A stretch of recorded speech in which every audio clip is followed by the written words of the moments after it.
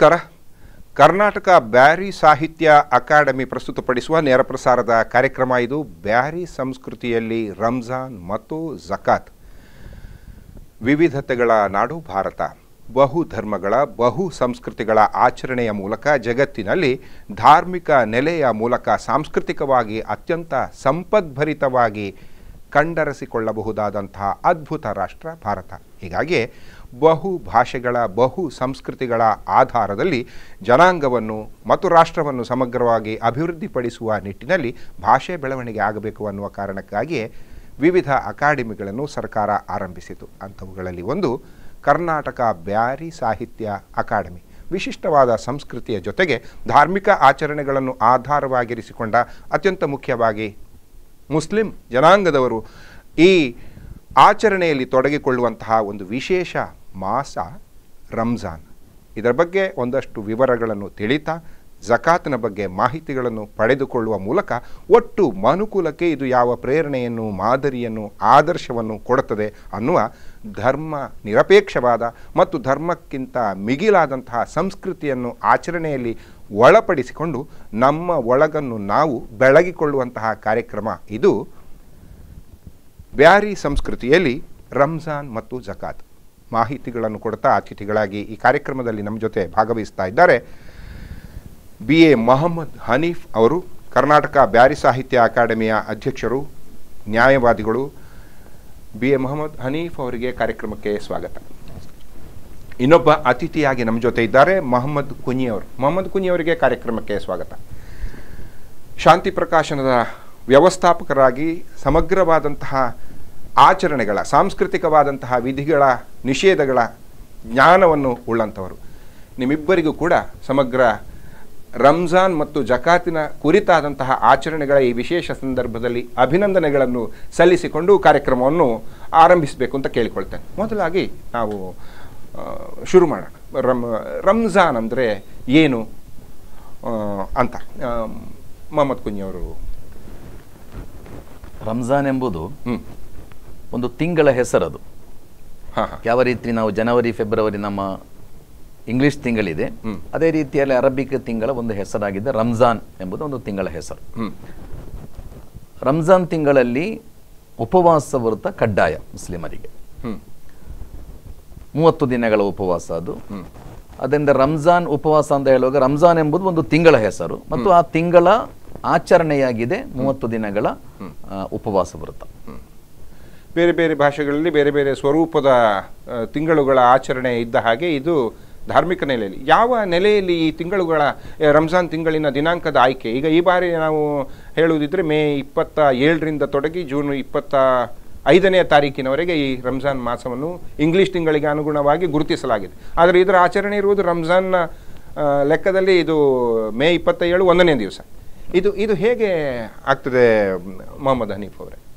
ಈಗ ಈ Islamic calendar ಇದನ್ನು ನಾವು ಚಂದ್ರಮಾನ ಮುಖಾಂತರ ಗುರುತಿಸಿಕೊಳ್ಳುವಂಥದ್ದು.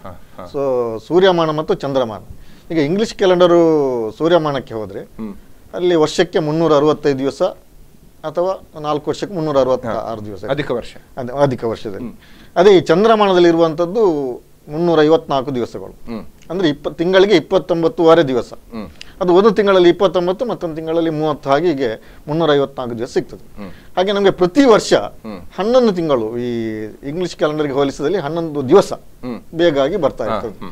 ಹಾಗೆ ಬರುವಾಗ ಪ್ರತಿ ವರ್ಷ ಹನ್ನೊಂದು ದಿವಸ ಬೇಗ ಬೇಗ ಬರುವಾಗ ಮೂವ ಇಂಗ್ಲಿಷ್ ಕ್ಯಾಲೆಂಡರ್ನ ಮೂವತ್ತೆರಡು ವರ್ಷ ಈ ನಮ್ಮ ಚಂದ್ರಮಾನದ್ದು ಮೂವತ್ತ ಮೂರು ವರ್ಷ ಆಗಿ ಮಾರ್ಪಡ್ತದೆ. ಹಾಗೆ ಒಬ್ಬನ ಆಯುಷ್ಯದಲ್ಲಿ ಒಂದು ಅರವತ್ತಾರು ವರ್ಷ ಉಪವಾಸ ಹಿಡಿದ್ರೆ ಎರಡು ವರ್ಷಗಳಷ್ಟು ಜಾಸ್ತಿ. ಸೊ ಇಸ್ಲಾಮಿಕ್ ಕ್ಯಾಲೆಂಡರ್ ಪ್ರಕಾರ ಅವರಿಗೆ ಅಷ್ಟು ಎರಡು ವರ್ಷ ಆಯುಷ್ಯ ಹೆಚ್ಚಾಗ್ತದೆ. ಹೆಚ್ಚಾಗ್ತದೆ. ಪ್ಲಸ್ ಏನಾಗ್ತದೆ? ಇಲ್ಲದ್ರೆ ಒಂದೇ ಬೇಸಿಗೆ ಕಾಲದಲ್ಲಿ ಮಾತ್ರ ಮಳೆಗಾಲದಲ್ಲಿ ಮಾತ್ರ ಉಪವಾಸ ಹಿಡಿದು ಅಂತದಲ್ಲ ಈಗ ಹನ್ನೊಂದು ದಿವಸ ಬರುವಾಗ. ಬೇಸಿಗೆ ಕಾಲ ಮಳೆಗಾಲ ಚಳಿಗಾಲ ಪ್ರತಿ ಇದರಲ್ಲಿ ಕೂಡ ಕಾಲದಲ್ಲಿ ಕೂಡ ಉಪವಾಸವನ್ನು ಹಿಡಿಬೇಕಾಗ್ತದೆ. ಬೇಸಿಗೆ ಕಾಲದಲ್ಲಿ ದಿನ ಬಹಳ ದೊಡ್ಡದಾಗಿರ್ತದೆ. ಬೆಳಿಗ್ಗೆ ನಾಲ್ಕೂವರೆಯಿಂದ ಏಳು ಏಳು ಕಾಲದವರೆಗೆ ಇರ್ತದೆ. ಹಗಲಿನ ಅವಧಿ. ಅವಧಿ ಅವಧಿ ಹಗಲಿನ ಅವಧಿ ಜಾಸ್ತಿ ಇರ್ತದೆ. ಸೊ ಈಗ ಇಲ್ಲಿ ಚಳಿಗಾಲ ಬರುವಾಗ ಹಗಲಿನ ಅವಧಿ ಕಡಿಮೆ ಇರ್ತದೆ. ಸೊ ಹೆಚ್ಚಿನ ಬಾಯಾರಿಕೆ ಇರುವ ಟೈಮ್ನಲ್ಲಿ ಕೂಡ ಅಥವಾ ಮಳೆಗಾಲದಲ್ಲಿ ಕೂಡ ಸೊ ಪ್ರತಿ ವರ್ಷದ ಹೀಗೆ ನಮಗೆ ಒಂದು ಆಯುಷ್ಯದ ಒಂದು ಎರಡು ಅವಧಿ ವರ್ಷಗಳಲ್ಲಿ ಹೀಗೆ ಎರಡು ಮೂರು ಋತುಗಳ ಎರಡೆರಡು ಸಲ ಬೇಗ ಬೇಗಾಗಿ ಬರ್ತದೆ. ರಂಜಾನ್ನಲ್ಲಿ ಉಪವಾಸ ಕಡ್ಡಾಯ ಮತ್ತು ಬಹಳ ಪ್ರಧಾನವಾಗಿ ಉಪವಾಸಕ್ಕೆ ಇರುವಂತಹ ಮಾಸ ಎಂಬುದಾಗಿ ರಂಜಾನ್ ಗುರುತಿಸಲ್ಪಟ್ಟಿದೆ. ಕಡ್ಡಾಯ ಉಪವಾಸ ಅಂದರೆ ಉಪವಾಸ ಕೂಡ ಅತ್ಯಂತ ಅಂದರೆ ಒಂದು ಹನಿ ನೀರು ಕೂಡ ಕುಡಿಯದಂತಹ ಉಪವಾಸ. ಏನಿದ್ರ ಆಶಯ ಏನು? ನೋಡಿ ಉಪವಾಸ ಜಗತ್ತಿನ ಎಲ್ಲ ಧರ್ಮಗಳಲ್ಲೂ ಉಪವಾಸದ ಒಂದು ಸಿಸ್ಟಮ್ ಇದೆ. ಇದೆ. ಹಿಂದೂ ಧರ್ಮದಲ್ಲಿದೆ ಕ್ರಿಶ್ಚಾನಿಟಿಯಲ್ಲಿದೆ ಮತ್ತು ಜಗತ್ತಿನ ಧಾರಾಳ ಬುದ್ಧಿಜೀವಿಗಳು ಗಾಂಧೀಜಿಯವರ ಬಗ್ಗೆ ಹೇಳಲಾಗ್ತದೆ ಅವರು ಕೆಲವೊಮ್ಮೆ ಉಪವಾಸ ಹೊರತು ಆಚರಿಸ್ತಾ ಇದ್ದರು ಅಂತ. ಸೊ ಈ ಒಂದು ಉಪವಾಸದ ಕಲ್ಪನೆ ಸಾಮಾನ್ಯವಾಗಿ ಎಲ್ಲ ಧರ್ಮದಲ್ಲಿ ಇರುವಂತಹ ಒಂದು ಒಂದು ಆರಾಧನೆ ಅದು. ಇಸ್ಲಾಮಿನ ಉಪವಾಸ ಬಹಳ ಸಮಗ್ರವಾದ ಉಪವಾಸ. ಯಾಕೆಂದರೆ ಬೆಳಗಿನಿಂದ ಸೂರ್ಯಾಸ್ತಮಾನದ ತನಕ ಅನ್ನ ಪಾನೀಯಗಳನ್ನು ಸಂಪೂರ್ಣವಾಗಿ ತ್ಯಜಿಸಿ ಎಲ್ಲ ರೀತಿಯ ಲೈಂಗಿಕ ಆಸಕ್ತಿಗಳು ಯಾವುದಿದೆ ಅದರಿಂದ ಕೂಡ ಸಂಪೂರ್ಣವಾಗಿ ದೂರ ಇದ್ದು ಬಹಳ ನಿಷ್ಠೆಯಿಂದ ಆಚರಿಸಬೇಕಾದಂತಹ ಒಂದು ಉಪವಾಸದ ಸಿಸ್ಟಮ್ ಆಗಿದೆ ಇಸ್ಲಾಮಿನ ಉಪವಾಸದ ಸಿಸ್ಟಮ್. ಇದಕ್ಕೆ ಆಧ್ಯಾತ್ಮಿಕವಾದ ಧಾರಾಳ ಕಾರಣಗಳಿವೆ ಉದ್ದೇಶಗಳಿವೆ ಮತ್ತು ಶಾರೀರಿಕವಾದ ಮತ್ತು ಮಾನಸಿಕವಾದಂತಹ ಉದ್ದೇಶಗಳು ಕೂಡ ಈ ಉಪವಾಸಕ್ಕೆ ಖಂಡಿತವಾಗಿಯೂ ಇದೆ. ಧಾರ್ಮಿಕವಾಗಿ ಹೇಳುವುದಾದರೆ ಉಪವಾಸದ ದೊಡ್ಡ ಉದ್ದೇಶ ನಿಮ್ಮನ್ನು ನೀವು ನಿಯಂತ್ರಿಸಿಕೊಳ್ಳುವುದು ಅಂತ. ಮನುಷ್ಯ ನಿಯಂತ್ರಣ. ಸ್ವನಿಯಂತ್ರಣ. ಅದು ಮನುಷ್ಯತ್ವದ ಬಹಳ ಪ್ರಧಾನವಾದ ಒಂದು ಸಂಸ್ಕಾರ ಅಂತ ಹೇಳ್ಬೋದು. ನಿಮ್ಮನ್ನು ನೀವು ನಿಯಂತ್ರಿಸುವುದೆಂದರೆ ಅದಕ್ಕೆ ಮನುಷ್ಯ ಸಂಸ್ಕಾರ ಅಂತ ಹೇಳುವುದು. ಯಾಕೆಂದರೆ ಎಲ್ಲವನ್ನು ನಾವು ನಿಯಂತ್ರಿಸ್ತೇವೆ. ಎಲ್ಲ ಮೆಷಿನರೀಸ್ಗಳನ್ನು ನಾವು ಕಂಟ್ರೋಲ್ ಮಾಡ್ತೇವೆ. ಬಹಳ ದೊಡ್ಡ ದೊಡ್ಡದನ್ನೆಲ್ಲ ನಾವು ನಿಯಂತ್ರಿಸ ಅದು ನಮ್ಮನ್ನು ನಾವು ನಿಯಂತ್ರಿಸುವಲ್ಲಿ ನಾವು ಸೋತು ಹೋಗ್ತೇವೆ. ಮತ್ತು ಸಮಾಜದ ಎಲ್ಲ ಸಮಸ್ಯೆಗಳಿಗೆ ಕಾರಣವೂ ಅದುವೆ.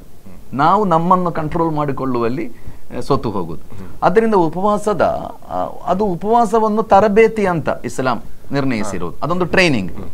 ಒಂದು ತಿಂಗಳ ಒಂದು ಸಂಪೂರ್ಣ ನಿಮ್ಮನ್ನು ನೀವು ಕಂಟ್ರೋಲ್ ಮಾಡುವ ಒಂದು ಟ್ರೈನಿಂಗ್ ಆಗಿ ಅದು ನಿಶ್ಚಯಿಸಿದೆ. ಮತ್ತು ಈ ಒಂದು ತಿಂಗಳಲ್ಲಿ ಯಾವ ತರಬೇತಿ ನೀವು ಪಡೆಯುತ್ತೀರಿ, ಅದು ನಿಮ್ಮ ಮುಂದಿನ ಬದುಕಿಗೆ ದಾರಿದೀಪ ಆಗಬೇಕು. ಅದರ ಆಧ್ಯಾತ್ಮಿಕವಾದಂತಹ ಸಿಸ್ಟಮ್ ಆಧ್ಯಾತ್ಮಿಕವಾದ ಉದ್ದೇಶ ಅದು. ಎರಡನೆಯದಾಗಿ ಇದರ ಶಾರೀರಿಕವಾದ ಮತ್ತು ಮಾನಸಿಕವಾದ ಪ್ರಯೋಜನಗಳ ಬಗ್ಗೆ ಧಾರಾಳ ಮೆಡಿಕಲ್ ಸೈನ್ಸ್ ಇವತ್ತು ಹೇಳ್ತಾ ಇದೆ. ಉಪವಾಸ ಒಂದು ತಿಂಗಳ ಉಪವಾಸ ನಿಮ್ಮ ಆರೋಗ್ಯವನ್ನು ಸುಸ್ಥಿತಿಯಲ್ಲಿಡುತ್ತದೆ. ಫುಡ್ ಕಂಟ್ರೋಲ್ ಎಂಬುದು ಇವತ್ತು ಇಡೀ ದೊಡ್ಡ ಚರ್ಚೆಯ ವಿಷಯ. ಈ ಒಂದು ತಿಂಗಳ ಈ ಫುಡ್ ಕಂಟ್ರೋಲ್ ಮತ್ತು ಉಪವಾಸ ತೊರೆಯುವಾಗ ಖರ್ಜೂರದಿಂದ ನಾವು ಉಪವಾಸ ತೊರೆಯುತ್ತೇವೆ. ಅದು ಕೂಡ ಈ ಹಸಿದ ವ್ಯಕ್ತಿಗಳು ಖರ್ಜೂರದಿಂದ ಉಪವಾಸದ ಖರ್ಜೂರಕ್ಕೆ ವಿಶೇಷವಾದ ಒಂದು ಶಕ್ತಿ ಇದೆ ಎಂಬುದೆಲ್ಲ ಇವತ್ತು ಮೆಡಿಕಲ್ ಸೈನ್ಸಿನಿಂದ ಸಾಬೀತಾಗ್ತಾ ಇದೆ. ಆದ್ದರಿಂದ ಅದರ ಶಾರೀರಿಕವಾದ ಪ್ರಯೋಜನಗಳು ಕೂಡ ಇದೆ. ಮತ್ತು ಮಾನಸಿಕವಾಗಿ ಮನುಷ್ಯ ಒಂದು ರೀತಿಯ ನೋಡಿ, ಹಸಿವಿನಿಂದ ಇದ್ದಾಗ ನಿಮಗೆ ಇನ್ನೊಬ್ಬರ ಹಸಿವು ಕೂಡ ಅರ್ಥ ಆಗ್ತದೆ. ಬಹಳ ದೊಡ್ಡ ಒಂದು ಸಂಸ್ಕಾರ ಅದು. ಯಾಕೆಂದ್ರೆ ಈ ಜಗತ್ತಿನಲ್ಲಿ ಅನ್ನ ಇಲ್ಲದೆ ಬದುಕುವವರು ಧಾರಾಳ ಕೋಟಿಗಟ್ಟಲೆ ಇದ್ದಾರೆ ಅಂತ ನಮ್ಮ ವಿಶ್ವಸಂಸ್ಥೆ ಹೇಳುತ್ತಾ ಇದೆ. ಅದರಿಂದ ಒಂದು ಕಡೆಯಲ್ಲಿ ಹಸಿವು ತಿಂದು ತಿಂದು ಚೆಲ್ಲುವವರು ಇದ್ದಾರೆ. ಇನ್ನೊಂದು ಕಡೆಯಲ್ಲಿ ಅನ್ನಕ್ಕೆ ಗತಿ ಇಲ್ಲದವರು ಇದ್ದಾರೆ. ಸೊ ಒಂದು ತಿಂಗಳ ಉಪವಾಸ ನೋಡಿ, ಅದು ಒಬ್ಬ ಬಡ ಕೂಲಿ ಕಾರ್ಮಿಕ ಎಷ್ಟು ಗಂಟೆಗಳ ಉಪವಾಸ ವೃತ್ತ ಆಚರಿಸಬೇಕು? ಒಬ್ಬ ದೊಡ್ಡ ಶ್ರೀಮಂತ ಕೂಡ ಅದೇ, ಅಷ್ಟೇ ಸಮಯ ಉಪವಾಸ ವೃತ್ತ ಆಚರಿಸಬೇಕು. ಆವಾಗ ನೋಡಿ, ನಿಮಗೆ ಹಸಿವಿನ ಅಗಾಧತೆ ತಿಳಿಯುತ್ತದೆ. ಸೊ ಸಮಾಜವನ್ನು ನಿಮಗೆ ಅರ್ಥ ಮಾಡಲಿಕ್ಕೆ, ಸಾಮಾಜಿಕವಾದಂತಹ ಕಳಕಳಿ ನಿಮ್ಮಲ್ಲಿ ಬೆಳೆಯಲು ಕೂಡ ಉಪವಾಸ ಖಂಡಿತವಾಗಿಯೂ ಸಹಾಯಕ ಆಗ್ತದೆ. ಶಬ್ದವೇ ಹೇಳುವ ಹಾಗೆ ಉಪ ಅಂದರೆ ಹತ್ತಿರ ಅಂತಾರೆ. ವಾಸ ಅಂದರೆ ಇರುವುದು. ಯಾರ ಹತ್ತಿರ? ಭಗವಂತನ ಹತ್ತಿರ ಇದ್ದುಕೊಂಡು ಧ್ಯಾನವನ್ನು ಮಾಡ್ತಾ ಪ್ರಾರ್ಥನೆಗಳನ್ನು ಸಲ್ಲಿಸ್ತಾ ಸಮಾಜದ ಬಗ್ಗೆ ಅರಿವು. ನಮ್ಮನ್ನು ನಾವು ಅರಿಯುವುದಂದ್ರೆ ನಮ್ಮೊಳಗೊಂದು ಬೆಳಕು ಹಚ್ಚಿಕೊಳ್ಳೋದು. ಒಂದು ತಿಂಗಳ ಅವಧಿಯಲ್ಲಿ ಒಂದು ಬೆಳಕನ್ನು ಇಟ್ಕೊಂಡು ಆ ಬೆಳಕಿನಲ್ಲಿ ಮುಂದಿನ ಪಥವನ್ನು ಬಹಳ ಸುಂದರವಾದ ಅದ್ಭುತವಾದ. ಇದು ಕಡ್ಡಾಯ ಅಂತ ಯಾಕೆ ಮಾಡಿದ್ರು ಈಗ ರಂಜಾನ್ ತಿಂಗಳು ಅಂತ ಹೇಳಿದ್ರೆ ನಾವು ಅವತೀರ್ಣವಾದ ತಿಂಗಳು ಅಂತ. ಹೇಗೆ? ನಮ್ಮ ಧರ್ಮಗ್ರಂಥ ಕುರ್ವಾನ್ ಇದೆ. ಆ ಕುರ್ವಾನ್ ಅವತೀರ್ಣವಾದದ್ದು ಈ ತಿಂಗಳಲ್ಲಿ. ಆದ್ರಿಂದ ಈ ಉಪವಾಸವನ್ನ ಇದಕ್ಕೆ ಕಡ್ಡಾಯ ಮಾಡಲಾಯಿತು. ಸೊ ಹಾಗೆ ಈ ಇವರು ಹೇಳಿದ ಹಾಗೆ ಉಪವಾಸ ಹಿಡಿದಾಗ ಖಾಲಿ ಹಸಿದು ಕೂತ್ಕೊಳ್ಳೋದಲ್ಲ. ಕೆಟ್ಟದನ್ನು ಆಲೋಚಿಸಬಾರ್ದು ಕೆಟ್ಟವನ್ನು ಹೇಳಬಾರ್ದು ಕೆಟ್ಟದನ್ನು ಕೇಳಬಾರ್ದು. ಅದರಿಂದ ಒಂದು ಸಮಗ್ರ ಒಂದು ಒಳ್ಳೆಯ ವ್ಯಕ್ತಿತ್ವವನ್ನು ಬೆಳೆಸಿಕೊಳ್ಳಿಕ್ಕೆ. ನಿಯಮಿತವಾಗಿ ನಮಾಜ್ ಮಾಡುವುದು ಕೂಡ ಈ ದಿನಗಳಲ್ಲಿ ಬಹಳ ವಿಶೇಷ ಅಂತ. ಈ ದಿನ ನಮಾಜ್ ಮಾಡುದು ಎಲ್ಲಾ ದಿನಗಳಲ್ಲೂ ಇದು. ಸೊ ಈಗ ಈ ತಿಂಗಳಲ್ಲಿ ಮಾಡಿದ್ರೆ ಅದಕ್ಕೆ ಜಾಸ್ತಿ ಪ್ರತಿಫಲ ಸಿಗ್ತದೆ ಅಂತ ಹೇಳುವಂತದ್ದು ಸೊ ಅದರಿಂದ ಒಂದು ವೇಳೆ ನಾವು ನಮಾಜ್ ಮಾಡುವುದನ್ನು ತಪ್ಪಿ ಬಿಟ್ಟಿದ್ದೆವು ಅಥವಾ ಕೆಟ್ಟ ವ್ಯಕ್ತಿತ್ವವನ್ನು ಬೆಳೆಸಿಕೊಂಡಿದ್ದೆವು. ಈ ತಿಂಗಳು ಬರುವಾಗ ಇದಕ್ಕೆ ಮಹತ್ವ ಜಾಸ್ತಿ ಕಲ್ಪಿಸಿಕೊಂಡು ನಾವು ಆ ಕೆಟ್ಟದನ್ನೆಲ್ಲ ಬಿಟ್ಟು ಅಥವಾ ನಮಾಜ್ ಮಾಡೋದನ್ನು ಬಿಟ್ಟು ನಮಾಜ್ ಮಾಡಲಿಕ್ಕೆ ಉಪಕ್ರಮಿಸುವಾಗ ನಮ್ಮ ವ್ಯಕ್ತಿತ್ವ ಒಳ್ಳೆದಾಗಿ ಬೆಳೀತದೆ ಮತ್ತೆ ಒಂದು ಈಗೋ ಯುಗಾದಿ ಕಳೆದರೂ ಯುಗಾದಿ ಮರಳಿ ಬರ್ತಿದೆ ಅಂತ ಹೇಳಿ ಒಂದು ನಾವು ಕೇಳಿದ್ದೇವೆ. ಅದೇ ರೀತಿ ವರ್ಷ ವರ್ಷ ಈ ಉಪವಾಸ ಬರುವಾಗ ನಾವು ಏನು ಹೋಗಿ ಹೋಗಿ ಆ ಉಪವಾಸ ಹತ್ತಿರ ತಿಂಗಳು ಬರುವಾಗ ಏನು ಕೆಟ್ಟದನ್ನು ಆಗಿದ್ದೇವೋ ಅದನ್ನೆಲ್ಲ ತೊರೆದು ಒಳ್ಳೇದಾಗ್ತೇವೆ. ಪುನಃ ಅದನ್ನು ಕೆಟ್ಟದಾಗಿ ಹೋಗಬಾರ್ದು ಎಂಬ ಉದ್ದೇಶ ಆದರೂ ಜನರ ನೀವು ಆರಂಭದಲ್ಲಿ ಹೇಳಿದಾಗೆ ವರ್ಷ ವರ್ಷ ಈ- ಡೆಪಾಸಿಟ್ ಅನ್ನು ಜಾಸ್ತಿ ಮಾಡಿ ನಮ್ಮ ಆಯುಷ್ಯವನ್ನು ಅರ್ಥಾತ್ ನಮ್ಮ ಜ್ಞಾನವನ್ನು ಸಮಾಜದ ಎಡೆಗಿನ ನಮ್ಮ ಕಳಕಳಿಯನ್ನು ಹೆಚ್ಚಿಸಿಕೊಳ್ಳುವಂತಹ ಒಂದು ವಿಶೇಷ ಅವಕಾಶ. ಧರ್ಮದ ನೆಲೆಯಲ್ಲಿ ಸಾಂಸ್ಕೃತಿಕವಾಗಿ ವೈಯಕ್ತಿಕವಾಗಿ ಬೆಳೆಯುವ ಬೆಳಗುವ ಒಂದು ವಿಶೇಷ ಅವಕಾಶ. ಉಪವಾಸವನ್ನು ತೊರೆಯುವಾಗ ಉಪವಾಸವನ್ನು ಹಿಡಿಯುವಾಗ ರಂಜಾನ್ನ ಆರಂಭದಲ್ಲಿ ಉಪವಾಸವನ್ನು ಹಿಡಿಯುವಾಗ ಆಮೇಲೆ ದಿನದ ಕೊನೆಯಲ್ಲಿ ತೊರೆಯುವಾಗ ಒಂದಷ್ಟು ವಿಧಿ ನಿಷೇಧಗಳು ಹೀಗೆಲ್ಲ ಇದೆ ಅಂತ ಧಾರ್ಮಿಕವಾಗಿ. ಅದಕ್ಕೆ ಸಾಂಸ್ಕೃತಿಕವಾದಂತಹ ಚೌಕಟ್ಟು ನೆಲೆಗಟ್ಟು ಏನಿದೆ ಅಲ್ಲ ಏನಿದೆ ಹೀಗೆ ಏನು ಯಾವ ಯಾವ ಒಂದು ಕ್ರಮಗಳನ್ನು ನೀವು ಅನುಸರಿಸಬೇಕಾಗ್ತದೆ? ಉಪವಾಸ ಹ್ಮ್. ಉಪವಾಸ ಕಡ್ಡಾಯ ಯಾಕೆ ಅಂತ ನೀವೊಂದು ಪ್ರಶ್ನೆ ಕೇಳಿದ್ದೀರಿ. ಅದೊಂದು ಧಾರ್ಮಿಕ ನಿಯಮ. ಇಸ್ಲಾಮಿನಲ್ಲಿ ನಾಲ್ಕು ವಿಷಯಗಳು ಕಡ್ಡಾಯ ಅಂತ ಹೇಳಲಾಗಿದೆ. ಒಂದು ದಿನದಲ್ಲಿ ಐದು ಸಲ ನಮಾಜ್ ಮಾಡಬೇಕು. ಅದು ಕಡ್ಡಾಯ. ಕಡ್ಡಾಯ. ಎರಡನೇದು ಎರಡನೆಯದು ಜಕಾತ್ ಕೊಡಬೇಕು ಅದು ಕಡ್ಡಾಯ. ವರ್ಷಕ್ಕೊಮ್ಮೆ.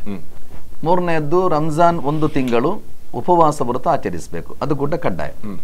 ನಾಲ್ಕನೆಯದು ಯಾರಲ್ಲಿ ಸಾಮರ್ಥ್ಯ ಇದೆ ಅವ ಬದುಕಿನಲ್ಲಿ ಒಂದು ಸಲ ಹಜ್ ಮಾಡಬೇಕು. ಇದು ಕಡ್ಡಾಯ. ಈಗ ಅದು ಧಾರ್ಮಿಕವಾದಂತಹ ಒಂದು ನಿಯಮ ಅದು. ಅದನ್ನು ಪಾಲಿಸಲೇಬೇಕು ಬಹು ಮುಖ್ಯವಾದಂತಹ ನಿಯಮಗಳಲ್ಲಿ ರಂಜಾನ್ನ ಉಪವಾಸದ ಆಚರಣೆ ಸೇರಿ ಹೌದು ಹೌದು.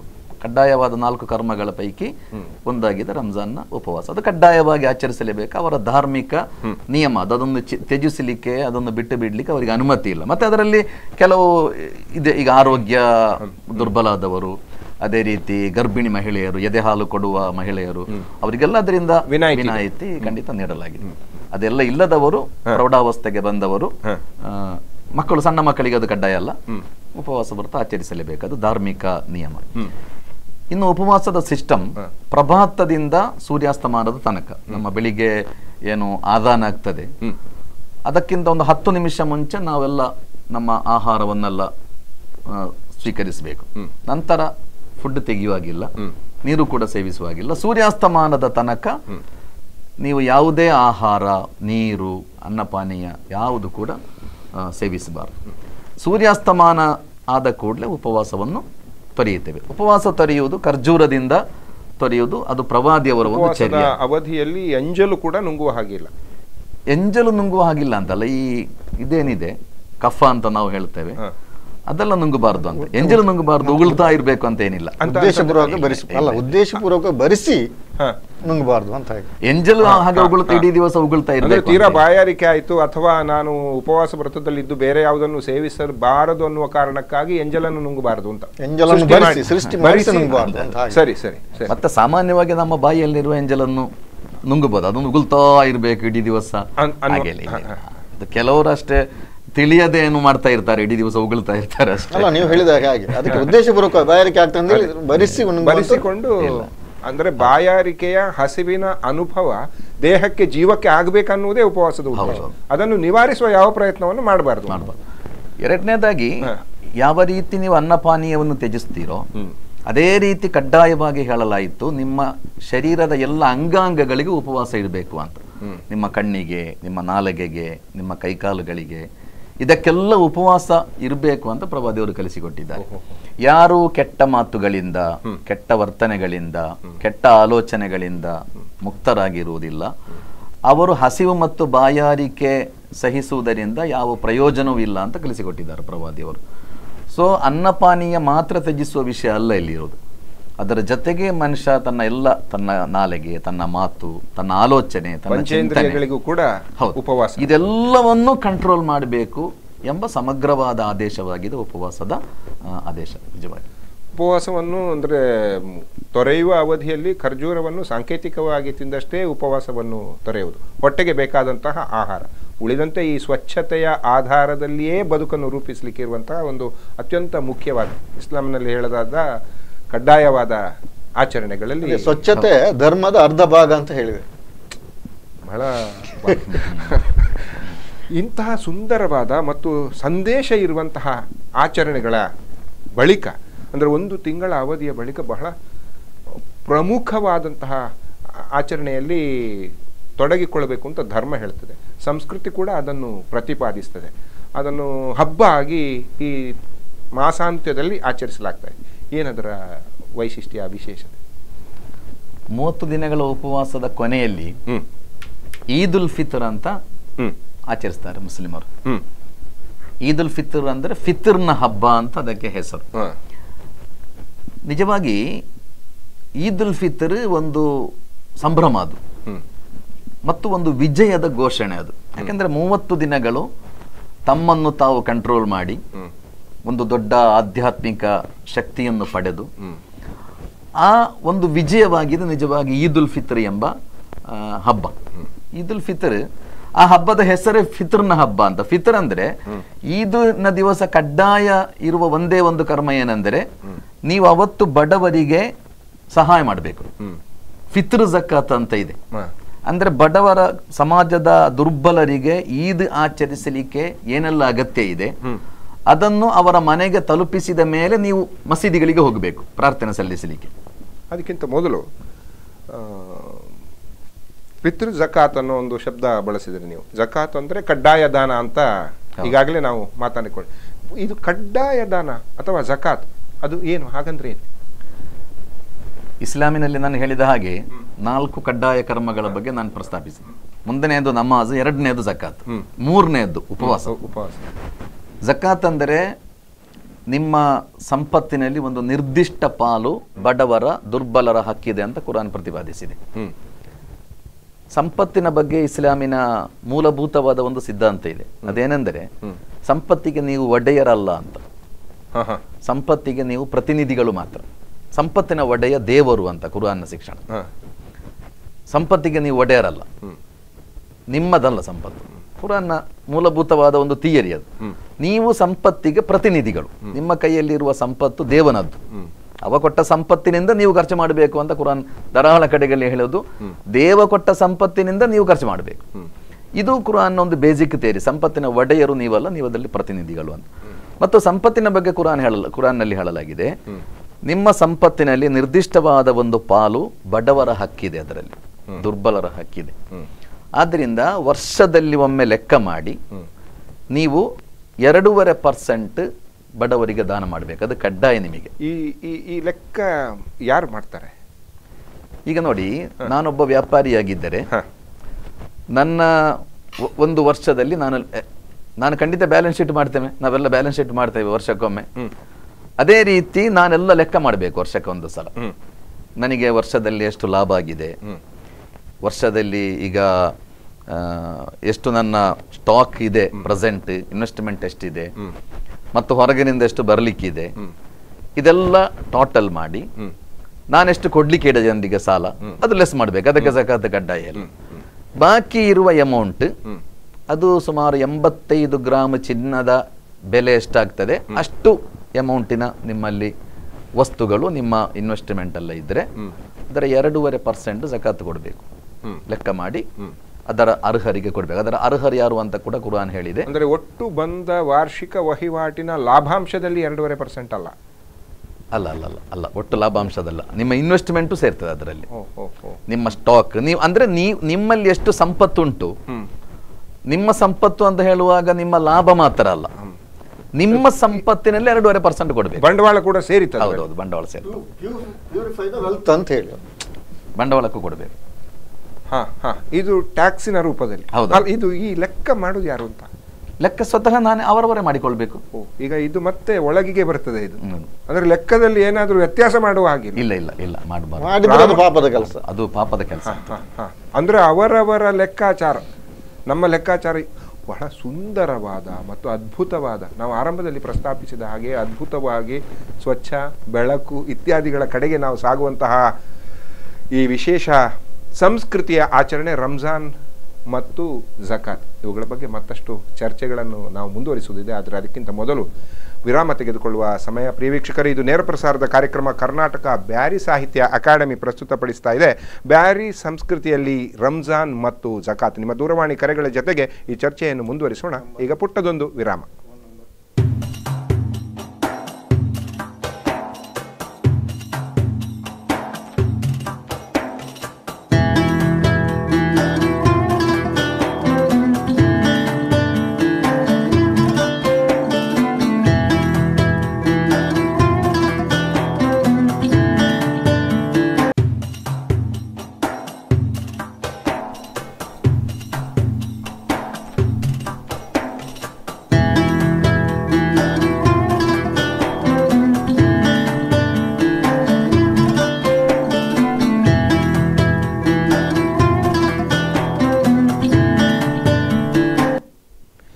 ವಿರಾಮದ ಬಳಿಕ ಮತ್ತೆ ಸ್ವಾಗತ. ನೇರ ಪ್ರಸಾರದ ಕಾರ್ಯಕ್ರಮ ಇದು. ಕರ್ನಾಟಕ ಬ್ಯಾರಿ ಸಾಹಿತ್ಯ ಅಕಾಡೆಮಿ ಪ್ರಸ್ತುತಪಡಿಸ್ತಾ ಇರುವಂತಹ ಬ್ಯಾರಿ ಸಂಸ್ಕೃತಿಯಲ್ಲಿ ರಂಜಾನ್ ಮತ್ತು ಸಕಾತ್ ಬಹಳ ಆಕರ್ಷಕವಾದ ಮತ್ತು ಕುತೂಹಲಕಾರಿಯಾದಂತಹ ಹಂತದಲ್ಲಿ ನಮ್ಮ ಚರ್ಚೆ ವಿರಾಮವನ್ನು ಪಡೆದುಕೊಂಡಿತ್ತು. ಶಾಂತಿ ಪ್ರಕಾಶನದ ವ್ಯವಸ್ಥಾಪಕ ಮೊಹಮ್ಮದ್ ಕೂನಿ ಅವರು ಈ ಚರ್ಚೆಯಲ್ಲಿ ಅತಿಥಿಯಾಗಿ ನಮ್ಮ ಜೊತೆ ಭಾಗವಹಿಸಿದರು. ಇದೀಗ ನಮ್ಮ ಜೊತೆ ಇನ್ನೋರ್ವ ಅತಿಥಿ ಸೇರಿಕೊಂಡಿದ್ದಾರೆ ಉಮರಬ್ಬ ಅವರು. ಕರ್ನಾಟಕ ಬ್ಯಾರಿ ಸಾಹಿತ್ಯ ಅಕಾಡೆಮಿಯ ರಿಜಿಸ್ಟ್ರಾರ್. ನಿಮಗೆ ಈ ಕಾರ್ಯಕ್ರಮಕ್ಕೆ ಸ್ವಾಗತ.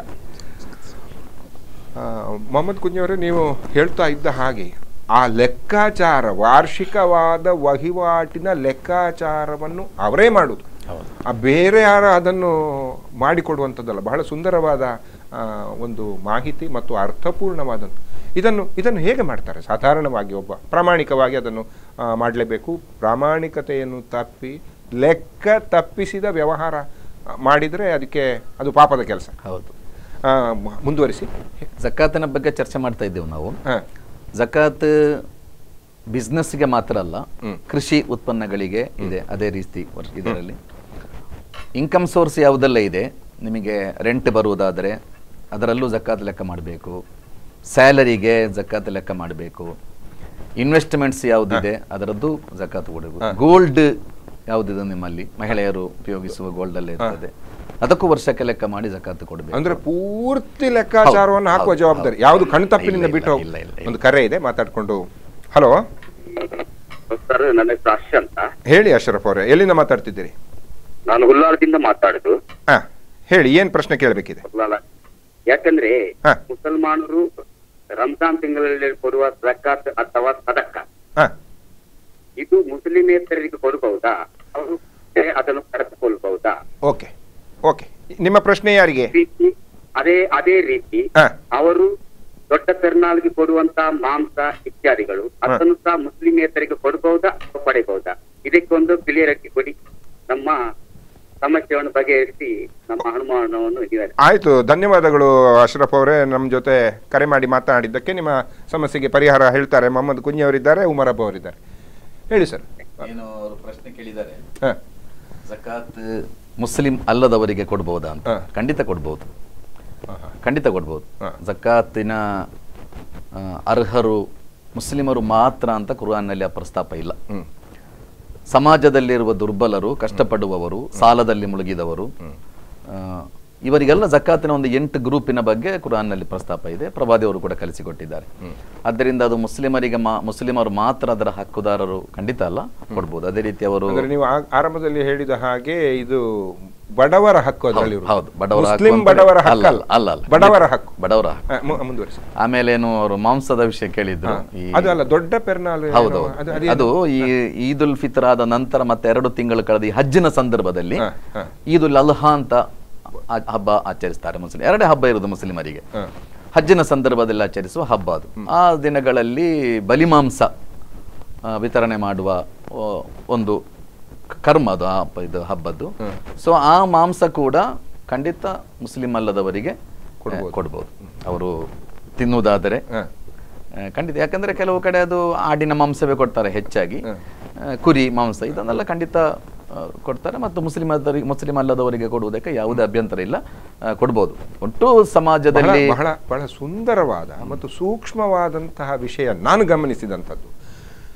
ಧರ್ಮದ ಆಧಾರದಲ್ಲಿ ರಂಜಾನ್ ಅನ್ನುವ ತಿಂಗಳಿನ ಆಚರಣೆ ಆಗ್ತದೆ. ಆದರೆ ಅದರ ಫಲಾನುಭವಿಯಾಗಿ ಒಂದು ಅಂಶ ಇರುವಂಥದ್ದು ಬಹಳ ಮುಖ್ಯವಾಗಿ ಹೇಳಲಾದಂತಹ ಉಪವಾಸ ಮತ್ತು ಉಳಿಸುವ ಆಹಾರ ಕೂಡ. ಒಂದು ದೇಶದ ಬಳಕೆಯಾಗುವ ಆಹಾರದಲ್ಲಿ ಒಂದು ತಿಂಗಳಿನಲ್ಲಿ ಉಳಿತಾಯವಾಗುವ ಆಹಾರ ಕೂಡ ಬಹುದೊಡ್ಡ ಬಹುದೊಡ್ಡ ಮೊತ್ತ ಆಗ್ತದೆ. ಹೌದು. ಆಮೇಲೆ ಅದರ ಅಂತ್ಯದಲ್ಲಿ ಕೊಡುವಂತಹ ಬಟವಾಡೆಯಲ್ಲಿ ಬಡವರ ಹಂಚಿಕೆಯಲ್ಲಿ ಅದು ಮುಸ್ಲಿಮರಿಗೆ ಮಾತ್ರ ಅಲ್ಲ ಬಹಳ ಉದಾತ್ತವಾದಂತಹ ಆದರ್ಶವನ್ನು ಧ್ಯೇಯವನ್ನು ಹೇಳಿದೆ. ಉಮರ ಉಮರಬ್ ಅವರೇ ನಿಮ್ಮ ಹತ್ರ ಪ್ರಶ್ನಿಸುವುದಕ್ಕಿಂತ ಮೊದಲು ಒಂದು ಕರೆ ಮಾತಾಡಿಕೊಂಡು ಹಲೋ? ಹಲೋ ನಮಸ್ಕಾರ. ನಮಸ್ತೆ ಯಾರು ಮಾತಾಡ್ತಿದ್ದೀರಿ ಅಲ್ಲಿಂದ ನಾನು ಪೀರ್ ಮೊಹಮ್ಮದ್ ಮಾತಾಡ್ತೆ. ಆ, ಹೇಳಿ ಸಾಹೇಬ್ರೆ ಬಹಳ ದಿವಸ ಆಯ್ತು ನಿಮ್ಮ ಹತ್ರ ಮಾತಾಡಿ. ನಿಮಗೆ ರಂಜಾನ್ನ ವಿಶೇಷ ಆ, ಶುಭಾಶಯಗಳನ್ನು ಹೇಳ್ತಾ ಇದ್ದೇನೆ. ಪ್ರಶ್ನೆ ಕೇಳಿ. ಓಕೆ ಈ ಜಕಾತ್ನ ಬಗ್ಗೆ ಮಾತಾಡ್ತಾ ಇದ್ದೆ. ಈ ಜಕಾತ್ನಲ್ಲಿ ನಾವು ಒಂದು ಸಂಘ ಸಂಸ್ಥೆಗೆ ಕೊಡುವ ಬದಲು ಅಗತ್ಯವುಳ್ಳ ಈಗ ನಿಜವಾಗಿಯೂ ಸೌಖ್ಯ ಇಲ್ಲದ ಮಕ್ಕಳು ಇರ್ತಾರೆ. ಮನೆಯಲ್ಲಿ ಮತ್ತು ತಂದೆ ತಾಯಿ ಮದ್ದೆಯನ್ನು ಮಾಡ್ಲಿಕ್ಕೆ ಆಗದವರು ಇರ್ತಾರೆ. ಅಂತವರನ್ನು ಹುಡುಕಿ ಕೊಡುವುದು ಅದು ಉತ್ತಮವಲ್ಲವ ಅಂತೇಳಿ. ಸಂಘ ಆಯ್ತು. ಸಂಸ್ಥೆ ಕೊಟ್ರೆ ಅದನ್ನು ಯಾವ ರೀತಿ ಉಪಯೋಗಿಸ್ತಾರೆ ಅಂತ ಹೇಳಿ ನಾವು ಅವರ ಹಿಂದೆ ಹೋಗ್ಲಿಕ್ಕೆ ಆಗುದಿಲ್ಲ. ಮಾನವೀಯ ದೃಷ್ಟಿಯಿಂದ. ಆ, ಈಗ ಅದನ್ನು ಸಲ್ಲಬೇಕಾದ ಜನರೇ ಇರ್ತಾರೆ. ಅವರಿಗೆ ಆದ್ಯತೆಯನ್ನು ನೀಡಿ ಆ ನಂತರ ಸಂಘ ಸಂಸ್ಥೆಯವರಿಗೆ ನೀಡಬೇಕು ಅಂತ. ಇದೇ ರೀತಿಯಲ್ಲಿ ನಿಮ್ಮ ಚಾನೆಲ್ನಲ್ಲಿ ಮೊನ್ನೆ ಕಾಪುವಿನ ವಿಷಯವಾಗಿ ಒಬ್ಬರನ್ನು ತೋರಿಸಿದ್ದಾರೆ. ಅದರ ಬಗ್ಗೆ ನಾನು ಹತ್ತು ಹಲವಾರು ಜನರಿಗೆ ವಾಟ್ಸ್ಆಪ್ ಮೂಲಕ ತಿಳಿಸಿದ್ದೇನೆ. ಒಳ್ಳೆ ರೆಸ್ಪಾನ್ಸ್ ಇದೆ. ಅದರಂತೆ ತಮ್ಮಲ್ಲೂ ಮಂಗಳೂರು ವಿಭಾಗದಲ್ಲಿ ಕೇಳಿಕೊಳ್ತೇನೆ. ಅದ್ರ ಆ, ಅದರ ಎಲ್ಲಾ ವಿವರವು ನಿಮ್ಮ ಸ್ಪಂದನ ಟಿವಿಯಲ್ಲಿ ಇದೆ. ಅವರಿಗೂ ಆದ್ಯತೆಯ ಪ್ರಕಾರ ನೀವು ಖಂಡಿತ ಖಂಡಿತ ಖಂಡಿತ ಪೀರ್ ಮೊಹಮ್ಮದ್ ಅವರೇ ನೀವು ನಮ್ಮ ಜೊತೆ ನಿರಂತರವಾಗಿರುವಂತವರು ಹಿರಿಯರಾದ ನಿಮ್ಮ ಮಾರ್ಗದರ್ಶನ ನಮಗೆ ಬೇಕು. ನೀವು ಹೇಳಿದ ಹಾಗೆ ನಿಮ್ಮ ಪ್ರಶ್ನೆಗೆ ಉತ್ತರಿಸಲಿಕ್ಕೆ ಇಬ್ಬರು ಗಣ್ಯರು ನಮ್ಮ ಜೊತೆ ಇದ್ದಾರೆ. ಸಾಮಾಜಿಕವಾದಂತಹ ಆಶಯವನ್ನು ಬೆಳಗಿಸುವುದು ಧರ್ಮಾತೀತವಾಗಿ ಮಾಡುವ ಕೆಲಸದಲ್ಲಿ ಕೈ ಜೋಡಿಸುವುದು ನಮ್ಮ ವಾಹಿನಿಯ ಕರ್ತವ್ಯ. ಮೊದಲಿನಿಂದಲೂ ಅದನ್ನು ಮಾಡ್ತಾ ಬಂದಿದ್ದೆ. ಧನ್ಯವಾದಗಳು. ನಮ್ಮ ಜೊತೆ ಕರೆ ಮಾಡಿ ಮಾತನಾಡಿದ್ದಕ್ಕೆ ನಿಮ್ಮ ಪ್ರಶ್ನೆಗೆ ಉತ್ತರ ಕೇಳಿ. ಉಮರಪ್ಪ ಅವರೇ ಹೇಳಿ. ಖಂಡಿತವಾಗಿಯೂ ಇಸ್ಲಾಂ ಧರ್ಮದ ಪ್ರಧಾನವಾದ ಧ್ಯೇಯ ಯಾರು ಸಮಾಜದಲ್ಲಿ ದುರ್ಬಲವಾಗಿರ್ತಾರ. ಅಂಥವರನ್ನು ಮೇಲಕ್ಕೆತ್ತಕ್ಕಂಥ ಕೆಲಸವನ್ನು ಖಂಡಿತವಾಗಿ ಅವರು ಒಂದು ಪ್ರಶ್ನೆ ಎತ್ತಿದ್ದು ಸಾಂಸ್ಥಿಕವಾಗಿ ಅದನ್ನು ಕೊಡುವುದರಿಂದ ಸಂಸ್ಥೆಯವರು ಕೆಲಸ ಮಾಡ್ತಾರಾ ಇಲ್ವಾ ಅಂತ ಅವರ ಹಿಂದೆ ಹೋಗಿ ನೋಡಬೇಕಾಗ್ತದೆ. ವೈಯಕ್ತಿಕವಾಗಿ ಅದರ ಅವಶ್ಯಕತೆ ಇರುವವರಿಗೆ ಕೊಟ್ಟರೆ ಒಳ್ಳೇದಲ್ವಾ ಅಂತ. ಕೆಲವೊಂದು ಪ್ರದೇಶಗಳಲ್ಲಿ. ಇಂಥ ಅರ್ಹತೆ ಇದ್ದವರು ಇದ್ದ ಇದ್ದೇ ಇರ್ತಾರೆ. ಅಂತ ಸಂದರ್ಭ ಅವರಿಗೆ ನೇರವಾಗಿ ಕೊಡೋದು ಉತ್ತಮ ಅಂತ ನನ್ನ ದೃಷ್ಟಿ. ಇಲ್ಲ ಸಂದರ್ಭಗಳಲ್ಲಿ ಸಂಘ ಸಂಸ್ಥೆಯಲ್ಲಿ ಕೊಟ್ಟುಕೊಂಡು ಅದನ್ನು ಅರ್ಹರಿಗೆ ಮುಟ್ಟಿಸ್ತಕ್ಕಂಥ ಜವಾಬ್ದಾರಿ ಮಾಡೋದು ಉತ್ತಮ ಅಂತ ಕಾಣುತ್ತೆ. ಆ, ಮೊಹಮ್ಮದ್ ಕುಂಜಿ ಅವರು ಬೇರೆ ಏನಾದರೂ ಹೇಳಲಿಕ್ಕೆ ಇಷ್ಟಪಡ್ತಾರೆ? ಜಕಾತಿನ ಸಂಗ್ರಹ ಮತ್ತು ವಿತರಣೆಯ ಬಗ್ಗೆ. ಬೇರೆ ಬೇರೆ ಚರ್ಚೆಗಳಿವೆ. ಯಾವ ರೀತಿಯಲ್ಲಿ ಅದು ಕೊಡಬೇಕು ಯಾವ ರೀತಿ ಕೊಡಬಾರ್ದು ಎಂಬುದರ ಬಗ್ಗೆ. ಬಹುಶಃ ನಮ್ಮ ಈ ಚರ್ಚೆಯ ಉದ್ದೇಶ ಒಟ್ಟು ರಂಜಾನ್ ಮತ್ತು ಜಕಾತ್ನ ಆ ಸ್ಪಿರಿಟ್ ಏನಿದೆ. ಅದು ಮಾತ್ರ ಈ ಚರ್ಚೆಯ ಭಾಗ ಆದರೆ ಒಳ್ಳೇದು. ಅದರ ಆಚೆ ಅದನ್ನು ಯಾರಿಗೆ ಕೊಡಬೇಕು ಯಾರಿಗೆ ಕೊಡಬಾರದು? ಇದೆಲ್ಲ ಅಲ್ಲ ವೈಯಕ್ತಿಕವಾಗಿ ಮೂಲಭೂತವಾಗಿ ಇದು ಒಬ್ಬ ವ್ಯಕ್ತಿಯ ಒಳಗಿನ ತಿಳಿವು ಒಟ್ಟು ನೋಡಿ ಜಕಾತ್ನ ಉದ್ದೇಶ ಏನೆಂದರೆ. ಜಕಾತ್ ಅರ್ಹರಿಗೆ ತಲುಪಬೇಕು. ಅದಕ್ಕೆ ಅರ್ಹರು ಕುರಾನ್ ನಿಶ್ಚಯಿಸಿದ ಅರ್ಹರಿದ್ದಾರೆ ದುರ್ಬಲರು ಸಾಲದಲ್ಲಿ ಮುಳುಗಿದಿರುವವರು. ಮತ್ತೆ ಧರ್ಮದ ಕೆಲಸಗಳಿಗಾಗಿ ಅದು ಖರ್ಚಾಗಬಹುದು. ಹೀಗೆ ಜಕಾತ್ ಅರ್ಹರಿಗೆ ಸಿಗಬೇಕು. ಅಷ್ಟೇ. ಜಕಾತ್ ಅರ್ಹರಿಗೆ ಸಿಗಬೇಕು ಮತ್ತು ಕೊಟ್ಟವರಿಗೆ ಅವರ ಅರ್ಹರು ಅನ್ನೋ ನಂಬಿಕೆ ಇರಬೇಕು. ಹೌದು. ವಿಶ್ವಾಸದ ಮೇಲೆ. ಈಗ ಸಂಸ್ಥೆ ಕೊಟ್ಟರು ವೈಯಕ್ತಿಕವಾಗಿ ಕೊಟ್ಟರು ಮತ್ತೆ ಅದು ಸಂಸ್ಥೆ ಕೊಡಬೇಕು ಹಲೋ? ಹಲೋ? ಹಲೋ? ಹಲೋ? ನಮಸ್ತೆ ಯಾರು ಮಾತಾಡ್ತಿದ್ದೀರಿ ಅಲ್ಲಿಂದ ನಮಸ್ತೆ ಇದು ಖಾಲಿದ್ ಉಜಿರೆ ಹೇಳಿ ಖಾಲಿದ್ ಅವರೇ ನಿಮ್ಗೆ ಏನ್ ಪ್ರಶ್ನೆ ಕೇಳಬೇಕು? ನಾನ್ ಪ್ರಶ್ನೆ ಕೇಳಲಿಕ್ಕಿದೆ. ನಮ್ಮಲ್ಲಿ ಈಗ ನಮ್ಮ ಈ ರಂಜಾನ್ ಉಪವಾಸದ ವಿಚಾರವಾಗಿ ಹ್ಮ್. ಜಕಾತ್ ಎಂಬುದು ಒಂದು ಬಹಳ ಮುಖ್ಯವಾದ ವಿಚಾರ. ಇದರಲ್ಲಿ ನಮ್ಮ ಮಹಮ್ಮದ್ ಕುಂಜಿ ಅವರಲ್ಲಿ ಒಂದು ವಿಚಾರವನ್ನು ಕೇಳ್ತಾ ಇದ್ದೇನೆ. ಕೇಳಿ ಕೇಳಿ. ಹಲೋ. ಕೇಳಿ ಪ್ರಶ್ನೆ ಕೇಳಿ. ಮಹಮ್ಮದ್ ಕುಂಜಿ ಅವರಲ್ಲಿ ಒಂದು ವಿಚಾರ. ಬೇರೇನಲ್ಲ ನಾವೀಗ ಸಾಮಾನ್ಯವಾಗಿ ನಮ್ಮ ಮಹಮ್ಮದ್ ಕುಂಜಿ ಅವರು ಸೇರಿದಂತೆ ಅನೇಕ ನಮ್ಮ ಧಾರ್ಮಿಕ ಮುಖಂಡರು ನಾಯಕರು ಎಷ್ಟೋ ಕಡೆ ಒಳ್ಳೆಯ ಪ್ರವಚನಗಳನ್ನೆಲ್ಲ ಮಾಡ್ತಾರೆ. ಅಲ್ಲಿ ಮುಖ್ಯವಾಗಿ ನಮಾಜ್ ಬಗ್ಗೆ ಮತ್ತೆ ಉಪವಾಸದ ಬಗ್ಗೆ ಮನ್ ಇನ್ನಿತರ ಸಾಮಾಜಿಕ ಏನು ಬಾಧ್ಯತೆಗಳ ಬಗ್ಗೆ ಅನೇಕ ಒಳ್ಳೆ ಮಾಹಿತಿಯನ್ನು ಕೊಡ್ತಾರೆ. ಮಹಮ್ಮದ್ ಕುಂಜಿಯವರು ಉತ್ತಮ ವಾಗ್ಮಿಗಳು ಅದ್ರಲ್ಲಿ ಏನೂ ಸಂದೇಹ ಇಲ್ಲ. ಪ್ರಶ್ನೆ ಕೇಳಿ. ನನ್ನ ಒಂದು ವಿನಂತಿ ಏನಂತ ಹೇಳಿದ್ರೆ ಅವರು ಈ ಜಕಾತ್ ಬಗ್ಗೆ ಇನ್ನಷ್ಟು ಹೆಚ್ಚಿನ ವಿಚಾರವನ್ನ ಒಂದು ದೊಡ್ಡ ಆಂದೋಲನವಾಗಿ ತಗೊಳ್ಬೇಕು. ಯಾಕಂತ ಹೇಳಿದ್ರೆ ನಮ್ಮ ಮಂಗಳೂರಿನಲ್ಲೇ ನೋಡುದಾದ್ರೆ ಅದೆಷ್ಟೋ ದೊಡ್ಡ ದೊಡ್ಡ ಏನು ಬಿಲಿಯನರ್ಸ್ ಇದ್ದಾರೆ ಮುಸಲ್ಮಾನರ ಪೈಕಿ ದೊಡ್ಡ ದೊಡ್ಡ ಬಿಲ್ಡರ್ಸ್ ಇದ್ದಾರೆ. ಅವರೆಲ್ಲ ಸರಿಯಾಗಿ ಜಕಾತ್ ಕೊಟ್ಟರೆ ಬಹುಶಃ ಮುಸ್ಲಿಂ ಸಮುದಾಯದಲ್ಲಿ ಒಬ್ಬನೇ ಒಬ್ಬ ಬಡವ ಇಲ್ಲಿ ಇರ್ಲಿಕ್ಕಿಲ್ಲ. ಪ್ರತಿಯೊಬ್ಬರಿಗೂ ಕೂಡ ಒಂದು ಆರ್ಥಿಕ ನೆಲೆಗಟ್ಟು ಬರ್ಬೋದು ಅಂತ ನನ್ನ ಒಂದು ಆಶೆ ಇದೆ. ಬಹುಶಃ ಅವರು ಅದನ್ನು ಮುಂದುವರಿಸ್ತಾರೆ ಅಂತ ನಾನು ಆಶಯದಿಂದ ಈ ಒಂದು ಮಾತನ್ನ ಹೇಳ್ತಾ ಇದ್ದೀನಿ. ಧನ್ಯವಾದಗಳು. ಖಾಲಿದ್ ಅವರೇ. ನಮ್ಮ ಜೊತೆ ಮಾತಾಡಿದ್ದಕ್ಕೆ. ಧನ್ಯವಾದಗಳು. ಮೊಹಮ್ಮದ್ ಕುಂಜಿ ಅವರು ಉತ್ತರಿಸ್ತಾರೆ ಹೇಗೆ ಕೇಳಿ. ಸಕಾತನ ಬಗ್ಗೆ ನಮ್ಮಲ್ಲಿ ಚರ್ಚೆ ನಡೆಯುವುದು ಕಡಿಮೆ ಎಂಬುದು ಸತ್ಯ. ಎಷ್ಟು ನಮಾಜಿನ ಬಗ್ಗೆ ಉಪವಾಸದ ಬಗ್ಗೆ ಹಜ್ಜಿನ ಬಗ್ಗೆ ಎಲ್ಲ ಚರ್ಚೆ ನಡೆಯುತ್ತದೆ.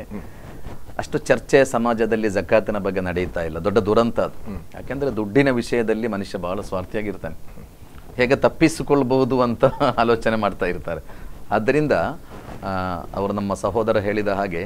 ಜಕಾತ್ ಖಾಲಿದ್ ಅವರು ಹೇಳಿದ ಹಾಗೆ ಜಕಾತ್ನ ಬಗ್ಗೆ ಹೆಚ್ಚು ಹೆಚ್ಚು ಚರ್ಚೆ ನಡೆಯಬೇಕಾದ ಅಗತ್ಯ ಇದೆ. ಮತ್ತು ಜಕಾತ್ ಪಾವತಿಸಿದವ ಪಾವತಿಸದವನ ನಮಾಜ್ ದೇವ ಸ್ವೀಕರಿಸುವುದಿಲ್ಲ ಅಂತ ಹೇಳಿದ್ದು ಪ್ರವಾದಿಯವರು. ಯಾರು ನಮಾಜ್ ಮಾಡ್ತಾನೆ ಆದರೆ ಅವ ಜಕಾತ್ ಪಾವತಿಸುವ ಅರ್ಹತೆ ಇದೆ ಅವ ಜಕಾತ್ ಕೊಡ್ತಾ ಇಲ್ಲ. ಅವನ ನಮಾಜ್ ದೇವನಿಗೆ ಅಗತ್ಯವೇ ಇಲ್ಲ ಅಂತ. ಅಂದ್ರೆ ನಮಾಜ್ ಸಂಪೂರ್ಣವಾಗಿ ದೇವನ ಹಕ್ಕದು. ದೇವನಿಗೆ ಸಾಷ್ಟಾಂಗ ಎರಗುವುದು ದೇವನೊಂದಿಗೆ ಪ್ರಾರ್ಥಿಸುವುದು. ಜಕಾತ್ ಸಂಪೂರ್ಣವಾಗಿ ಮನುಷ್ಯರ ಹಕ್ಕು. ಅದು ಮನುಷ್ಯರಿಗೆ ಸಲ್ಲಬೇಕಾದದ್ದು ಕುರ್ಆನ್ನ ಒಂದು ಮೂಲಭೂತ ಥಿಯರಿ ಏನೆಂದರೆ ದೇವನ ಹಕ್ಕಿನಲ್ಲಿ ಏನಾದರೂ ಕುಂದುಕೊರತೆ ಆದರೆ ದೇವ ಕ್ಷಮಿಸ್ತಾನೆ. ಮನುಷ್ಯರ ಹಕ್ಕಿನಲ್ಲಿ ಆಗುವ ಕೊರತೆಗಳನ್ನು. ಇಲ್ಲ, ಖಂಡಿತ ಇದೆ ಹಲೋ? ಹಲೋ? ನಮಸ್ತೆ ಯಾರು ಮಾತಾಡ್ತಿದ್ದೀರಿ? ಎಲ್ಲಿಂದ? ಇಲ್ಲಿ ಹೇಳಿ ನಿಮ್ಮ ಹೆಸರು ಹೇಳಿ. ಹೇಳಿ ಇದು ಇದು ಬೇಡ ಹೆಸರು ಬೇಡ. ಇದು ನಾವು ಮೊಹಮ್ಮದ್ ಕುಂಜವರಿಗೆ ಅವರಿಗೆ ಈ ಎಷ್ಟು ಪೌನಿಗೆ ಇದ್ರೆ ಚಿನ್ನ ನಮ್ಮ ಹತ್ರ ಎಷ್ಟು ಪೌನ್ ಇದ್ರೆ ಎಷ್ಟು ಎಷ್ಟು ಕೊಡ್ಬೇಕಂತ ಓಕೆ ಹೇಳ್ತಾರೆ. ಒಂದು ಐವತ್ತು ಪೌನ್ ಇದ್ರೆ ಅದಕ್ಕೆ ಎಷ್ಟು ಜಕಾತ್ ಕೊಡ್ಬೇಕಂತ ಹ. ಜಕಾತಿನ ಲೆಕ್ಕ ಬಹಳ ಕ್ಲಿಯರ್ ಇಸ್ಲಾಮಿನಲ್ಲಿ ಬಹಳ ಕ್ಲಿಯರ್ ಎಂಬತ್ತೈದು ಗ್ರಾಮ್ ಚಿನ್ನ ನಿಮ್ಮಲ್ಲಿ ಇರುವುದಾದರೆ ಅದರ ಎರಡೂವರೆ ಅದರ ಒಟ್ಟು ಅಮೌಂಟ್ ಏನಾಗ್ತದೆ? ಆ ಅಮೌಂಟಿನ ಎರಡೂವರೆ ಪರ್ಸೆಂಟ್. ಒಂದು ಒಂದು ಹತ್ತು ವರ್ಷದ ಹಿಂದೆ ಚಿನ್ನ ತಗೊಂಡಿದ್ರೆ ಆಗ ಇದ್ದ ಬೆಲೆ ಅಲ್ಲ ಈಗಿನ ಬೆಲೆ ಏನು? ಈಗದ ಮಾರ್ಕೆಟ್ ವ್ಯಾಲ್ಯೂ ಈಗ ನನ್ನ ಮನೆಯಲ್ಲಿ ಎಂಬತ್ತೈದು ಗ್ರಾಮ್ ಚಿನ್ನ ಇದೆ ಅಂತ ಇದ್ರೆ ಎಂಬತ್ತೈದು ಗ್ರಾಮಿನವರೆಗೆ ಜಕಾತ್ ಇಲ್ಲ. ಎಂಬತ್ತೈದು ಗ್ರಾಮ್ ಚಿನ್ನ ಇದ್ರೆ ಜಕಾತ್ ಕೊಡ್ಬೇಕು ಅದಕ್ಕೆ ಎರಡೂವರೆ ಪರ್ಸೆಂಟ್ ಕೊಡ್ಬೇಕು. ಅದಕ್ಕಿಂತ ಹೆಚ್ಚು ಎಷ್ಟಿದೆ? ಈಗ ನೂರು ಗ್ರಾಮ್ ಇದ್ರೆ ನೂರು ಗ್ರಾಮಿಗೆ ಎರಡೂವರೆ ಗ್ರಾಮ್ ಎರಡೂವರೆ ಹೌದು ಎರಡೂವರೆ ಎರಡೂವರೆ ಎರಡೂವರೆ ಗ್ರಾಮ್ ನೂರು ನೂರು ಗ್ರಾಮ್ ಚಿನ್ನ ಇದ್ರೆ ಎರಡೂವರೆ ಗ್ರಾಮ್ ಹೌದು. ಅಥವಾ ಅದರ ಎರಡೂವರೆ ಗ್ರಾಮಿಗೆ ಎಷ್ಟು ಬೆಲೆ ಆಗ್ತದೆ? ಮೌಲ್ಯ ಆಗ್ತದೆ ಅಷ್ಟು ಮೌಲ್ಯ ಕೊಡಬೇಕು ಅದು ಜಕಾತಿನ ಇಸ್ಲಾ ಚಿನ್ನದ ಜಕಾತಿನ ಲೆಕ್ಕಾಚಾರ ಹಾಗೆ. ಜಕಾತಿನ ಜೊತೆಗೆ ಇನ್ನೊಂದು ಸದಕ ಅನ್ನುವ ಶಬ್ದ ನಾವು ಅಲ್ಲಿ ಇಲ್ಲಿ. ಕೇಳ್ತೇವೆ. ಏನಿದು ಸದಕ ಉಮರಬ್ಬ ಅವರೇ ಸದಕ ಕೊಡುವಂಥದ್ದು ಪ್ರತಿಯೊಬ್ಬರ ಒಂದು ಕರ್ತವ್ಯ. ಯಾರು ಸದಕ ಕೊಡ್ಲಿಕ್ಕೆ ಅರ್ಹತೆ ಇದೆ? ಉದಾಹರಣೆಗೆ ದುರ್ಬಲರು ಬಂದಾಗ ನಮ್ಮಲ್ಲಿ ಭಾಳಷ್ಟು ಹಣ ಇದೆ ಅಂತ ಹೇಳುವಾಗ ನಾವು ಒಬ್ಬ ಬರ್ತಾ ಅವನಿಗೆ ಸದಕ್ ಕೊಡಲೇಬೇಕಾಗುತ್ತೆ. ಸದಕ್ ಅವನ ಅವನ ಮಾಡಿದ ತಪ್ಪುಗಳನ್ನು ಏನು ಮಾಡಿ ಈ ಸದಕದಿಂದ ಅವನಿಗೆ ಅದರಲ್ಲಿ ತುಂಬ ಪರಿಹಾರ ಸಿಗುತ್ತೆ. ಸದಕ ಕೊಡುವುದು ಪ್ರತಿಯೊಬ್ಬನ ಕರ್ತವ್ಯ. ಯಾರು ಸದಕ್ ಕೊಡ್ಲಿಕ್ಕೆ ಅರ್ಹತೆ ಇದೆ ನನ್ನಲ್ಲಿ ಕೊಡ್ಲಿಕ್ಕೆ ನಲ್ಲಿ ಬೇಕಾದಷ್ಟಿದೆ. ಅಂತ ಸಂದರ್ಭದಲ್ಲಿ ನಾನು ಸದಕ್ ಕೊಡಲೇಬೇಕಾಗತ್ತೆ. ಜಕಾತ್ ಅನ್ನೋದು ಕಡ್ಡಾಯ. ಸದಕ ಸದಕ್ ಕಡ್ಡಾಯ ಅಲ್ಲ. ಅಲ್ಲ. ಆದರೆ ಕೊಡಬಹುದು ಮತ್ತು ಕೊಡಬೇಕು ಕೊಡುವುದರಿಂದ ಒಳ್ಳೇದಾಗ ಕೊಡೋದು ಒಳ್ಳೇದಾಗುತ್ತೆ ಅದು ಅವರ ಅರ್ಹತೆಯನ್ನು ಆಧರಿಸಿದ ಹಾಗೆ. ಬಹಳ ಸುಂದರವಾದಂತಹ ಮಾತನ್ನೊಂದು ಮೊಹಮ್ಮದ್ ಕುಂಜಿ ಅವರು ಹೇಳಿದರು. ದೇವರ ವ್ಯವಸ್ಥೆ ಅಥವಾ ದೇವರ ಹಕ್ಕು ಏನಿದೆ ಅದನ್ನು ಚ್ಯುತಿ ಮಾಡಿದರೆ ದೇವರು ಕ್ಷಮಿಸ್ತಾರೆ. ಆದರೆ ಮನುಷ್ಯನು ಮಾಡಬೇಕಾದ್ದನ್ನು ಮಾಡದೇ ಉಳಿದರೆ ಕ್ಷಮಿಸುವುದಿಲ್ಲ ಅಂತ. ಈ ಉಪವಾಸದ ಅವಧಿಯಲ್ಲಿ ಅದನ್ನು ಕಂಡುಕೊಳ್ಳುವ ಕಡೆಗೇ ಹೆಚ್ಚಿನ ಲಕ್ಷ್ಯ ಇಟ್ಟು. ಆಮೇಲೆ ಒಂದು ವಿಷಯ ಸ್ಪಷ್ಟವಾದಾಗ ಉಳಿದದ್ದೆಲ್ಲ ಅದಕ್ಕೆ ಲಿಂಕ್ ಆಗಿ ತನ್ನಿಂದ ತಾನೇ ಸ್ವಚ್ಛವಾಗಿ ಶುಭ್ರವಾಗಿ ಹೋಗುವಂಥದ್ದು ಆಗ್ತದೆ. ಒಂದು ಕರೆ ಇದೆ ಮಾತಾಡ್ಕೊಂಡು ಮುಂದುವರಿಸಿ. ಹಲೋ? ನಮಸ್ತೆ ಯಾರು ಮಾತಾಡ್ತಿದ್ದೀರಿ ಅಲ್ಲಿಂದ? ಹಲೋ? ಹಲೋ? ಹಲೋ? ಹೇಳಿ ಶೇಖ್ ಅಬ್ದುಲ್ಲಾ ಅವರೇ ನಿಮ್ಗೆ ಏನು ಪ್ರಶ್ನೆ ಕೇಳಬೇಕಿದೆ? ಹೇಳಿ. ಹಾ ಸರ್. ಇದು ಕುತ್ತೂರಿಂದ ಶೇಖ್ ಅಂತ ಅಂತೇಳಿ. ಹಾ ಹೇಳಿ. ಮೊಹಮ್ಮದ್ ಕುಂಜಿ ಹಾಗೂ ಮರಬರವ್ರೆ ಅಸ್ಸಲಾಂ ಅಲೈಕುಂ ಇಲ್ಲಿ ಈಗ ನಮ್ಮ ಮುಸ್ಲಿಂ ಇದರಲ್ಲಿ ರಂಜಾನ್ನಲ್ಲಿ ಜಕಾತ್ ಕೊಡುವಂತದ್ದು ಒಂದು ದೊಡ್ಡ ಒಂದು ನಾನು ನೋಡುವ ರೀತಿಯಲ್ಲಿ ಒಂದು ಒಂದು ರೀತಿಯಲ್ಲಿ ಒಂದು ನಾಟಕ ರೀತಿಯಲ್ಲಿ ನನಗೆ ಕಾಣ್ತಾ ಇದೆ. ಯಾಕಂದ್ರೆ ನಾನ್ ನಿನ್ನೆ ಮಂಗಳೂರು ಕಡೆ ಹೋದೆ ಯುನಿಟಿ ಹಾಸ್ಪಿಟಲ್ ಅಂತ ಒಂದು ನಮ್ಮ ಅವರು ಅಡ್ಮಿಟ್ ಆಗಿದ್ರು, ಅವ್ರನ್ನ ನೋಡಕ್ ಹೋದೆ. ಆ ಹಾಸ್ಪಿಟಲ್ ಹತ್ರದಲ್ಲಿರೋ ಒಂದು ಮನೆ ಎದುರುಗಡೆ ರಸ್ತೆಯಲ್ಲಿ ಉದ್ದಕ್ಕೆ ಹೆಂಗಸರು ನಿಂತಿದ್ದಾರೆ. ಇದು ಏನಪ್ಪ ಇಲ್ಲಿ ಹೀಗೆ ನಿಂತಿದ್ದಾರೆ ಅಂತ ಕೇಳಿದ್ರೆ, ಅಲ್ಲಿ ಅಂಗಡಿ ಅವರು ಹೇಳಿದ್ರೆ ಈಗೀಗ ವಿಷಯ, ಅಲ್ಲಿ ರಂಜಾನ್ ಜಕಾತ್ ಕೊಡ್ತಾರಂತ ನೋಡಿದ್ರೆ ಎಲ್ಲ ಬಡವರು ದೌರ್ಭಾಗ್ಯವಂತ ರೀತಿಯಲ್ಲಿ ಇದ್ದಂತ ಅವರು. ಆದ್ರೆ ಅವರ ಮನೆ ಅಂಗಳದಲ್ಲಿ ನಾನು ನೋಡ್ತೇನೆ ಫುಲ್ಲು ಖಾಲಿ ಜಾಗ ಇದೆ ಫುಲ್ ಅವರನ್ನು ಗೇಟ್ನ ಒಳಗೆ ಮಾಡಿ ಮನೆ ಒಳಗೆ ಇದ್ ಮಾಡಿ ಅವರಿಗೆ ಬೇಕಾದಂತಹದ್ದು ಅದನ್ನು ಕಳಿಸ್ಬೋದು. ಆದ್ರೆ ಈ ರೀತಿ ಕೆಲವು ಮನೆಗಳಲ್ಲಿ ಇದು ಒಂದು ಮನೆಯಲ್ಲಿ ನಾನು ತುಂಬಾ ಕಡೆ ನೋಡಿದ್ದೇನೆ. ಈ ದೊಡ್ಡ ದೊಡ್ಡ ಮನೆಯವರ ಅವಶ್ಯಕ ಅವಶ್ಯಕತೆ ನೋಡಿದ ಅವರ ವ್ಯವಸ್ಥೆ ಅವ್ಯವಸ್ಥೆ ನೋಡಿದ್ರೆ ನನಗೆ ಬೇಸರ ಆಗ್ತಾ ಇದೆ. ಓಕೆ ಓಕೆ ಶೇಖ್ ಅಬ್ದುಲ್ ಅವರು. ನಿಮ್ಮ ನಿಮ್ಮ ಪ್ರಶ್ನೆಗೆ ಉತ್ತರಿಸ್ತಾರೆ. ಧನ್ಯವಾದಗಳು ನಮ್ಮ ಜೊತೆ ಮಾತಾಡಿದ್ದಕ್ಕೆ. ಪ್ರಶ್ನೆಗೆ ಉತ್ತರಿಸ್ತಾರೆ ಕೇಳಿ. ನಿಮ್ಮ ಟಿವಿ ವಾಲ್ಯೂಮ್ ಸ್ವಲ್ಪ ಕಡಿಮೆ ಮಾಡಿ ಅಷ್ಟೇ. ಹೇಳಿ ಮೊಹಮ್ಮದ್ ಕುಂಜಿ. ನೋಡಿ ಜಕಾತ್ ಬಹಳ ಶ್ರೇಷ್ಠವಾದ ಒಂದು ಸಿಸ್ಟಮ್. ಜಕಾತಿನ ಉದ್ದೇಶ ಮನುಷ್ಯನನ್ನು ಬಡತನದಿಂದ ಸಂಕಷ್ಟಗಳಿಂದ ಪಾರು ಮಾಡುವುದು. ಯಾರಿಗೆ ಮೂಲಭೂತ ಸಂಪೂರ್ಣವಾಗಿ. ಹೌದು ಸಂಪೂರ್ಣವಾಗಿ. ಯಾರಿಗೆ ಮೂಲಭೂತ ಅವಶ್ಯಕತೆಗಳು ಸಿಗ್ತಾ ಇಲ್ಲ ಅವರಿಗೆ ಮೂಲಭೂತ ಅಗತ್ಯಗಳನ್ನು ದೊರಕಿಸಿಕೊಟ್ಟು ಅವನನ್ನು ಮೇಲೆತ್ತುವುದು ಜಕಾತಿನ ಉದ್ದೇಶ. ಖಂಡಿತ ಅದು ಭಿಕ್ಷಾಟನೆಯ ಸಿಸ್ಟಮ್. ಅಲ್ಲ. ಅಲ್ಲ. ಖಂಡಿತ ಅಲ್ಲ. ಮತ್ತು ಭಿಕ್ಷಾಟನೆಯನ್ನು ಇಸ್ಲಾಂ ಬಹಳ ತೀವ್ರವಾಗಿ ವಿರೋಧಿಸ್ತದೆ. ಪ್ರವಾದಿಯವರ ಬಳಿ ಬಂದು ಒಬ್ಬರು ನನ್ನಲ್ಲಿ ಏನೂ ಇಲ್ಲ ಭಿಕ್ಷೆ ಕೊಡಿ ಅಂತ ಕೇಳ್ತಾರೆ. ಪ್ರವಾದಿಯವರು ಅವನಲ್ಲಿ ಒಂದು ಪ್ರಶ್ನೆ ನಿನ್ನ ಮನೆಯಲ್ಲಿ ಏನಿದೆ? ಅಂತ ಕೇಳಿದ್ರು. ಅವನಿ ಒದ್ದುಕೊಳ್ಳುವ ಒಂದು ಕಬ್ ಒಂದು ಕಂಬಳಿ ಮತ್ತು ಸ್ವಲ್ಪ ಪಾತ್ರೆ. ಏನು ಆಹಾರ ಬೇಯಿಸುವ ಪಾತ್ರೆ ಬಿಟ್ಟರೆ ಬೇರೆ ಯಾವುದೂ ಇಲ್ಲ. ಪ್ರವಾದಿಯವರು ಅದನ್ನು ತಾ ಅಂತ ಹೇಳ್ತಾರೆ. ಅದನ್ನು ಏಲಂ ಮಾಡ್ತಾರೆ ಆ ದುಡ್ಡನ್ನು ತೆಗೆದುಕೊಂಡು ಇವನ ಕೈಯಲ್ಲಿ ಕೊಟ್ಟು ಹೇಳಿದ್ರು ನೀನೊಂದು ಕೊಡಲಿ ಪರ್ಚೇಸ್ ಮಾಡು ಕಾಡಿಗೆ ಹೋಗು ಕಟ್ಟಿಗೆ ಕಡಿ ಊರಿನಲ್ಲಿ ತಂದು ಮಾರಾಟ ಮಾಡು ದುಡ್ಡು ಮಾಡು. ಭಿಕ್ಷೆ ಬಿಡಬಾರ್ದು. ಭಿಕ್ಷೆ ಬಿಡಬಾರ್ದು. ಅಂದರೆ ಜಕಾತಿನ ಸಿಸ್ಟಮ್ ಕೂಡ ಹಾಗೆ. ಕಷ್ಟದಲ್ಲಿರುವ ಜನತೆ ಬಹಳ ದೊಡ್ಡದಿದೆ ಸಮಾಜದಲ್ಲಿ. ಖಂಡಿತ ಬಹಳ ದೊಡ್ಡದಿದೆ. ಅದರಿಂದ ಅಂತಹ ಒಂದು ಕಡೆಯಲ್ಲಿ ಧಾರಾಳ ಶ್ರೀಮಂತರು ಇದ್ದಾರೆ. ಬಿಲಿಯನರ್ಸ್ಗಳಿದ್ದಾರೆ ಟ್ರಿಲಿಯನರ್ಸ್ಗಳು ಇದ್ದಾರೆ ಅಂದ್ರೆ ಒಂದು ವ್ಯವಸ್ಥೆಯನ್ನು ಅದು ಧಾರ್ಮಿಕವಾಗಿರಲಿ ಸಾಂಸ್ಕೃತಿಕವಾಗಿರಲಿ ಹೇಳಿದಾಗ ಕೊಡುವವರು ಒಂದು. ಹೌದು. ಒಂದು ಹಂತ. ಕೊಳ್ಳುವವರು ಇನ್ನೊಂದು ಹಂತ. ಕೊಳ್ಳುವವನು ಕೊಡುವವನು ಸಮಾನರಾಗಿರಬೇಕು ಅದು ಕೆಳಗೆ ಮೇಲೆ ಅಥವಾ ಕೇಳುವವರೇ ಅದನ್ನು ವಿಕ್ಷಯ ಉಪಾಧಿಯಲ್ಲಿ ಕೇಳಿಕೊಂಡು ಹೋಗತಕ್ಕದ್ದಲ್ಲ ಅನ್ನುವ ಸ್ಪಷ್ಟವಾದಂತಹ ಸಂದೇಶ ಅದಕ್ಕೆ ಜೊತೆಗೆ ಇದೆ ಅದರಲ್ಲಿ ಎರಡು ಕಡೆಯ ತಪ್ಪಿದೆ. ಕೊಡುವವರು ಸರಿಯಾಗಿ ಕೊಡ್ತಾ ಇಲ್ಲ. ಆದ್ದರಿಂದ ಅರ್ಹರಿಗೆ ತಲುಪ್ತಾ ಇಲ್ಲ ಅದು. ಜಕಾತಿನ ಸಿಸ್ಟಮ್ನಲ್ಲಿ ಗೊಂದಲ ಇದೆ ನಮ್ಮಲ್ಲಿ. ಯಾಕಂದ್ರೆ ಜನರು ಗೊಂದಲ ಅಂದ್ರೆ ಇಸ್ಲಾಮಿನ ಶಿಕ್ಷಣದಲ್ಲಿ ಯಾವುದೇ ಗೊಂದಲ ಇಲ್ಲ. ಎಲ್ಲ ಮೂಲಭೂತವಾಗಿ ಹೇಳಲ್ಪಟ್ಟಂತಹ ವಿಚಾರಗಳಲ್ಲಿ ಗೊಂದಲ ಇಲ್ಲ. ಅದು ಸ್ಪಷ್ಟವಾಗಿದೆ ನಿಖರವಾಗಿದೆ. ಗ್ರಹಿಕೆಯಲ್ಲಿ ಆದ ತಪ್ಪುಗಳಿಂದ ಮತ್ತು ಈ ವಿಷಯವನ್ನು ತಮ್ಮದಾಗಿ ಬಳಸಿಕೊಳ್ಳುವಂತಹ ಒಂದು. ಸ್ವಭಾವದಿಂದ ಅದು ಬದಲಾಗಿದೆ ದುಡ್ಡಿನ ವಿಷಯದಲ್ಲಿ ಹೆಚ್ಚು ಸ್ವಾರ್ಥ ಕೂಡ ಇರ್ತದೆ. ಹ್ಮ್.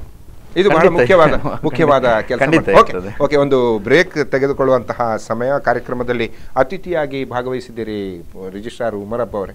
ಬಹಳ ಅದ್ಭುತವಾದಂತಹ ಸರ್ಕಾರದ ಆಶಯದ ಜೊತೆಗೆ ನಿಮ್ಮ ಮತ್ತು ನಿಮ್ಮ ಅಧ್ಯಕ್ಷರ ಜೊತೆಗೆ ಸೇರಿದಂತಹ ಸದಸ್ಯರ ಬಳಗ ಸೇರಿ ವಿಶೇಷವಾದಂತಹ ಒಂದು ಕೆಲಸವನ್ನು ಮಾಡ್ತಾ ಇದ್ದೀರಿ ಅನ್ನೋದನ್ನು ಕೇಳಿಪಟ್ಟೆ.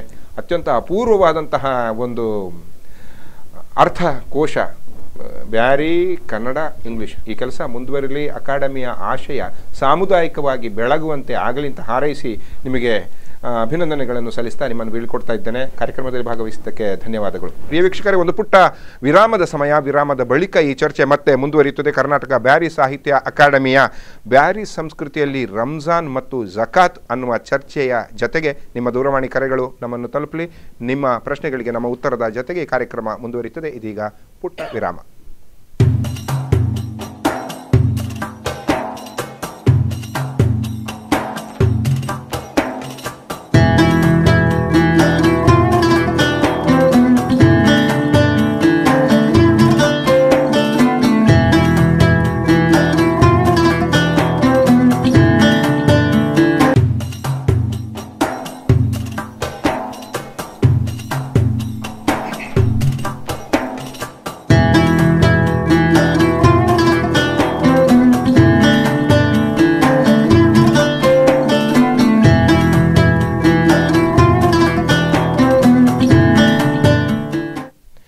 ವಿರಾಮದ ಬಳಿಕ ಮತ್ತೆ ಸ್ವಾಗತ. ನೇರ ಪ್ರಸಾರದ ಕಾರ್ಯಕ್ರಮ ಇದು.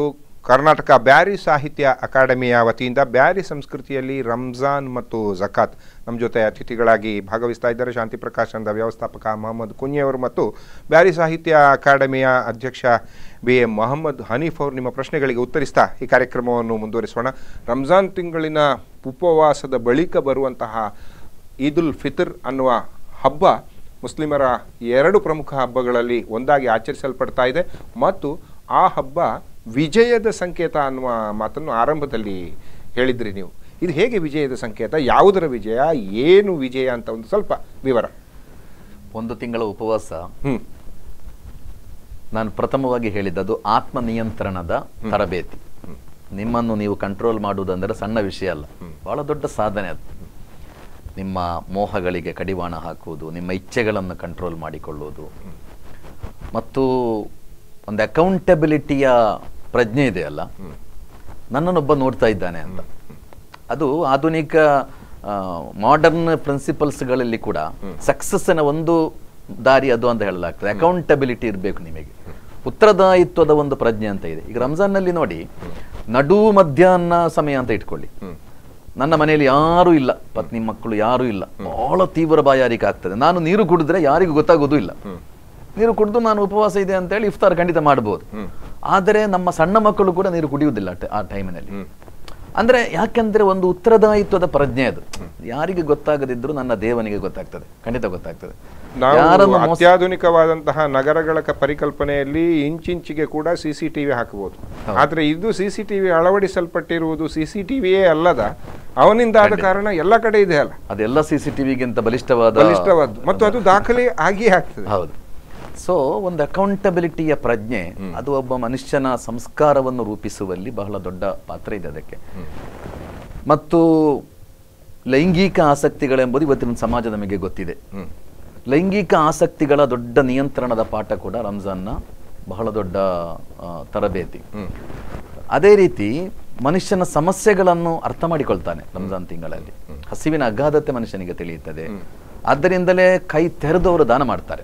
ಜಕಾತ್ ಯಾರಿಗೆ ಜಕಾತಿಗೆ ಅರ್ಹತೆ ಇದೆ ಅವರು ಜಕಾತ್ ಪಾವತಿಸ್ತಾರೆ. ಅದರ ಹೊರತಾಗಿ ಏನು ಇಲ್ಲದವ ಕೂಡ ದಾನ ಮಾಡ್ತಾನೆ. ಕೈಯಲ್ಲಿ ಏನೂ ಇಲ್ಲ ಅವನಲ್ಲಿ. ಸ್ವತಃ ಅವನಿಗೆ ಅಗತ್ಯ ಇದ್ದರೂ ಅವ ಇತರರಿಗೆ ದಾನ ಮಾಡ್ತಾನೆ. ಅಂತ ಒಂದು ಕಲ್ಚರ್ ರಂಜಾನ್ನಲ್ಲಿ ಸೊ ಒಟ್ಟು ಒಳಿತುಗಳ ಒಂದು ತಿಂಗಳು ಈ ಎಲ್ಲ ಒಳಿತುಗಳನ್ನು ನಾನು ಆರ್ಜಿಸಿದ್ದೇನೆ ಪಡೆದಿದ್ದೇನೆ. ಪಡೆದಿದ್ದೇನೆ. ಮತ್ತೆ ಏನು ಒಂದು ರೀತಿಯ ಪೈಶಾಚಿಕತೆ ಇದೆ ಅದರ ಅದನ್ನು ನಾನು ಸೋಲಿಸಿದ್ದೇನೆ ಒಂದು ತಿಂಗಳಲ್ಲಿ.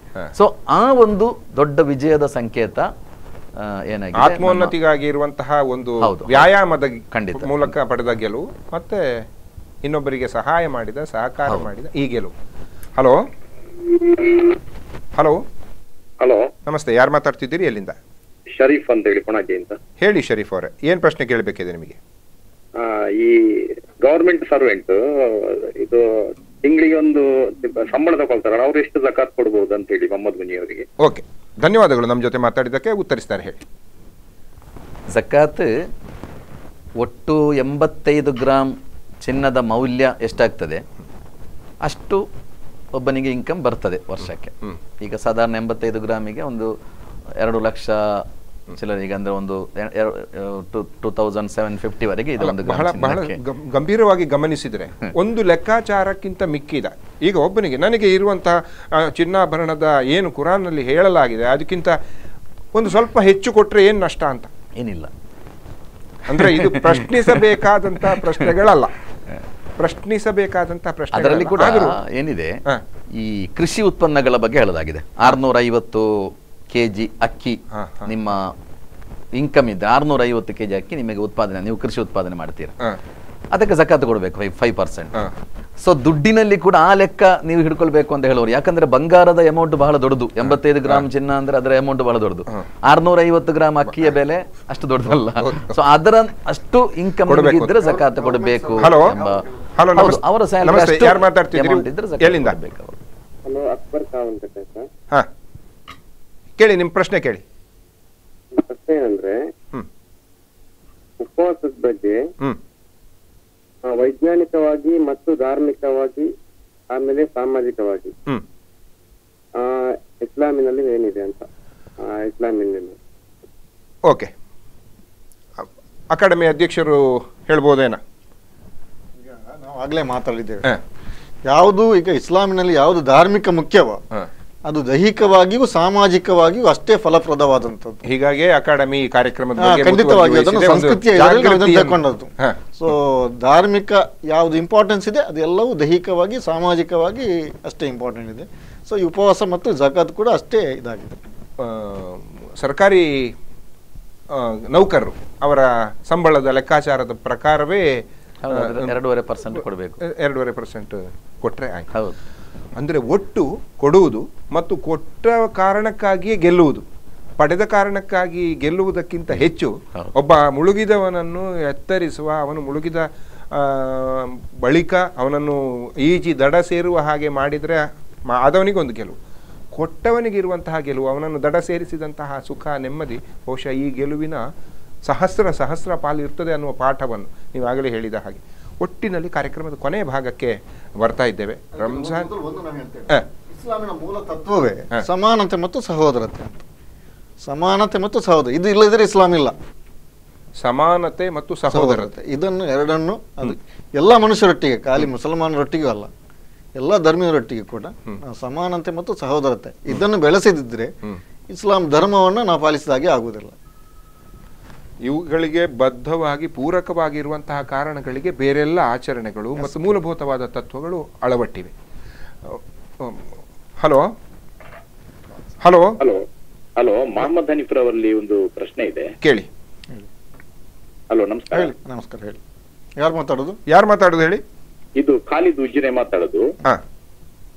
ಮೊಹಮ್ಮದ್ ಹನೀಫ್ ಹೇಳಿ ನಮಸ್ಕಾರ ನಮಸ್ಕಾರ ಹೇಳಿ. ನಮ್ಮ ಮೊಹಮ್ಮದ್ ಹನೀಫ್ ರವರು ಕರ್ನಾಟಕ ಬ್ಯಾರಿ ಅಕಾಡೆಮಿಯ ಅತ್ಯಂತ ಯಶಸ್ವಿ ಅಧ್ಯಕ್ಷರಾಗಿ ಮುಂದುವರಿತಾ ಇದ್ದಾರೆ. ಬಹಳ ಸಂತೋಷದ ವಿಚಾರ. ಪ್ರಶ್ನೆ ಕೇಳಿ. ಪ್ರಶ್ನೆ ನಮ್ಮ ಈ ಈದ್ ಮಿಲಾದ್ ಬರ್ತಾ ಇರ್- ಇರ್ತಕ್ಕಂತ ಈ ಒಂದು ಸಂತೋಷದ ಸಂಭ್ರಮದಲ್ಲಿ ನಮ್ಮ ಕರ್ನಾಟಕ ಬ್ಯಾರಿ ಸಾಹಿತ್ಯ ಅಕಾಡೆಮಿಯ ವತಿಯಿಂದ ಒಂದು ಸೌಹಾರ್ದ ಕೂಟವನ್ನ ಏರ್ಪಡಿಸಿದ್ರೆ ಬಹಳ ಸಂತೋಷ ಆಗುತ್ತೆ ಅಂತ ನನಗೆ ಅನಿಸ್ತಾ ಇದೆ. ಯಾಕಂದ್ರೆ ನಮ್ಮ ಕರಾವಳಿಯಲ್ಲಿ ಪರಸ್ಪರ ನಮ್ಮ ಬೇರೆ ಬೇರೆ ಧರ್ಮಗಳ ಧರ್ಮೀಯರ ಸಂಬಂಧಗಳು ಇತ್ತೀಚಿನ ದಿನಗಳಲ್ಲಿ ಸ್ವಲ್ಪ ದೂರ ಆಗ್ತಾ ಇದೆ. ಅದನ್ನು ಹತ್ತಿರ ತರಬೇಕಾದ್ರೆ ಖಂಡಿತವಾಗಿ ಅದು ಕರ್ನಾಟಕ ಬ್ಯಾರಿ ಸಾಹಿತ್ಯ ಅಕಾಡೆಮಿಯಿಂದ ಸಾಧ್ಯ ಇದೆ ಅಂತ ನನ್ನ ಒಂದು ಅಭಿಪ್ರಾಯ. ಓಕೆ ಧನ್ಯವಾದಗಳು ಕರೆ ಮಾಡಿದ್ದಕ್ಕೆ. ಇದು ಇದು ಮಿಲಾದಲ್ಲ ಮಿಲಾದ್ ಅಲ್ಲ ಈಗ ಬರ್ತಾ ಇರೋದು ಹಾ. ಅವ್ರು ಹೇಳುವಂತದ್ದು ಸರಿ ಉದ್ದೇಶ. ಆದ್ರೆ ನಮ್ಮ ಅವಧಿನೂ ಸ್ವಲ್ಪ ಅಂಶ ಇರುವುದು ಸ್ವಲ್ಪ ಟೈಮ್ ಇರುವುದು ಮತ್ತೆ ಅದಕ್ಕೆ ಫಂಡ್ ಕೂಡ ಅಗತ್ಯ ಇರ್ತದೆ. ಸರ್ಕಾರದ ಇದು ಫಂಡ್ ಬಂದ್ರೆ ನಾವು ಮಾಡುವ ಒಂದು ಆಲೋಚನೆ ಇದೆ. ನೋಡುವ ಪ್ರಯತ್ನ ಮಾಡುವ. ಖಾಲಿ ಇಫ್ತಾರ್ ಕೂಟಗಳು ಬಹಳ ಅದೇ ಇದು ಇಫ್ತಾರ್ ಅಲ್ಲ ಅವರು ಈದ್ ಉಲ್ ಫಿತರ್ ಹಬ್ಬಕ್ಕಾಗಿ ಹಬ್ಬಕ್ಕಾಗಿ ವಿಶೇಷ- ಒಟ್ಟುಗೂಡಿಸುವಂತ ಒಂದು ಮಾಡುವಂತದ್ದು ಅದು ಖಂಡಿತವಾಗಿ ಈಗ ಕ್ರಿಸ್ಮಸ್ಗೆ ದೀಪಾವಳಿಗೆ ಇಂಥ ಒಂದು ಹಬ್ಬಕ್ಕೆ ಮಾಡಿಕೊಂಡು ಅದು ಒಳ್ಳೇದು ಖಂಡಿತವಾಗಿ ಮಾಡಬೇಕು. ನೋಡುವ ಪ್ರಯತ್ನಿಸಿ. ಮೊಹಮ್ಮದ್ ಕುಂಜಿಯವರೇ ಧಾರ್ಮಿಕವಾದ ಒಂದು ಹಿನ್ನೆಲೆಯಿಂದ ಎಲ್ಲ ಆಶಯಗಳನ್ನು ಸಾಮುದಾಯಿಕವಾಗಿ ಸಾಮಾಜಿಕವಾಗಿ ಮತ್ತು ವೈಯಕ್ತಿಕವಾಗಿ ಈ ನೆಲೆಗಳಲ್ಲಿ ವಿಶ್ಲೇಷಿಸಿದಾಗ ಈ ಉಪವಾಸ ಅದರ ನಂತರದ ಆ, ಆಚರಣೆಗಳು ವಿಜಯದ ಆಚರಣೆಗಳು, ಇವೆಲ್ಲವೂ ಸಮಗ್ರವಾಗಿ ಒಂದು ಧರ್ಮದ ಮೂಲಭೂತವಾದಂತಹ ತಳಹದಿಯನ್ನು ತೆರೆದಿಡುತ್ತದೆ ಉಪವಾಸದ ಮೂಲಕ.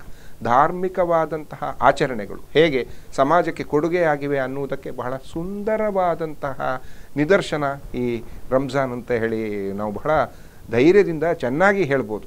ಧರ್ಮಾತೀತವಾದ ಮತ್ತು ಧರ್ಮ ನಿರಪೇಕ್ಷವಾದ ಬಹಳ ಮುಖ್ಯವಾಗಿ ಸರ್ವ ಧರ್ಮಗಳ ನೆಲೆಬೀಡಾಗಿರುವಂತಹ ನಮ್ಮ ನೆಲದಲ್ಲಿ ಇಂತಹ ಆಚರಣೆಗಳು ಹೆಚ್ಚು ಹೆಚ್ಚು ಅರ್ಥ ತುಂಬಿಕೊಂಡಾಗ ಬದುಕು ಸಹೋದರತೆ ಮತ್ತು ಸಮಾನತೆಯತ್ರ ನಿರಂತರವಾಗಿ ಸಾಗುವುದಕ್ಕೆ ಸಾಧ್ಯ ಇದೆ ಅಂತ ಹೇಳಿ. ಕಾರ್ಯಕ್ರಮದ ಕೊನೆಯ ಭಾಗದಲ್ಲಿ ಕೊನೆಯದಾಗಿ ಏನು ಹೇಳಲಿಕ್ಕೆ ಇಷ್ಟಪಡ್ತೀರಿ? ಪ್ರವಾದಿ ಮೊಹಮ್ಮದ್ ಸಲ್ಲಾಹು ಅಲಿ ವಸಲ್ಲಂ ಒಂದು ಮಾತು ಹೇಳಿದರು. ಅದನ್ನು ನಾನು ಒಂದು ಸಂದೇಶವಾಗಿ ಹೇಳ್ತಾ ಇದ್ದೇನೆ ಈ ಕಾರ್ಯಕ್ರಮದಲ್ಲಿ. ಅವರೊಮ್ಮೆ ಒಂದು ಪ್ರಶ್ನೆ ಕೇಳ್ತಾರೆ ತನ್ನ ಸಂಗಾತಿಗಳೊಂದಿಗೆ. ಉಪವಾಸಕ್ಕಿಂತ ನಮಾಜ್ಗಿಂತ ಶ್ರೇಷ್ಠವಾದ ಒಂದು ಕರ್ಮವನ್ನು ನಾನು ನಿಮಗೆ ತಿಳಿಸಿಕೊಡಲೆ ಅಂತ ಕೇಳಿದರು. ಅನುಯಾಯಿಗಳು ಹೇಳಿದರು ಹೌದು ತಿಳಿಸಿಕೊಡಿ ಅಂತ. ಆಗ ಪ್ರಭಾದಿಯವರು ಹೇಳಿದರು ಇಸ್ಲಾಹು ದಾತಿಲ್ ಬೈನಿ ಅಂತ ಅದರ ಅರಬಿ ಪದ.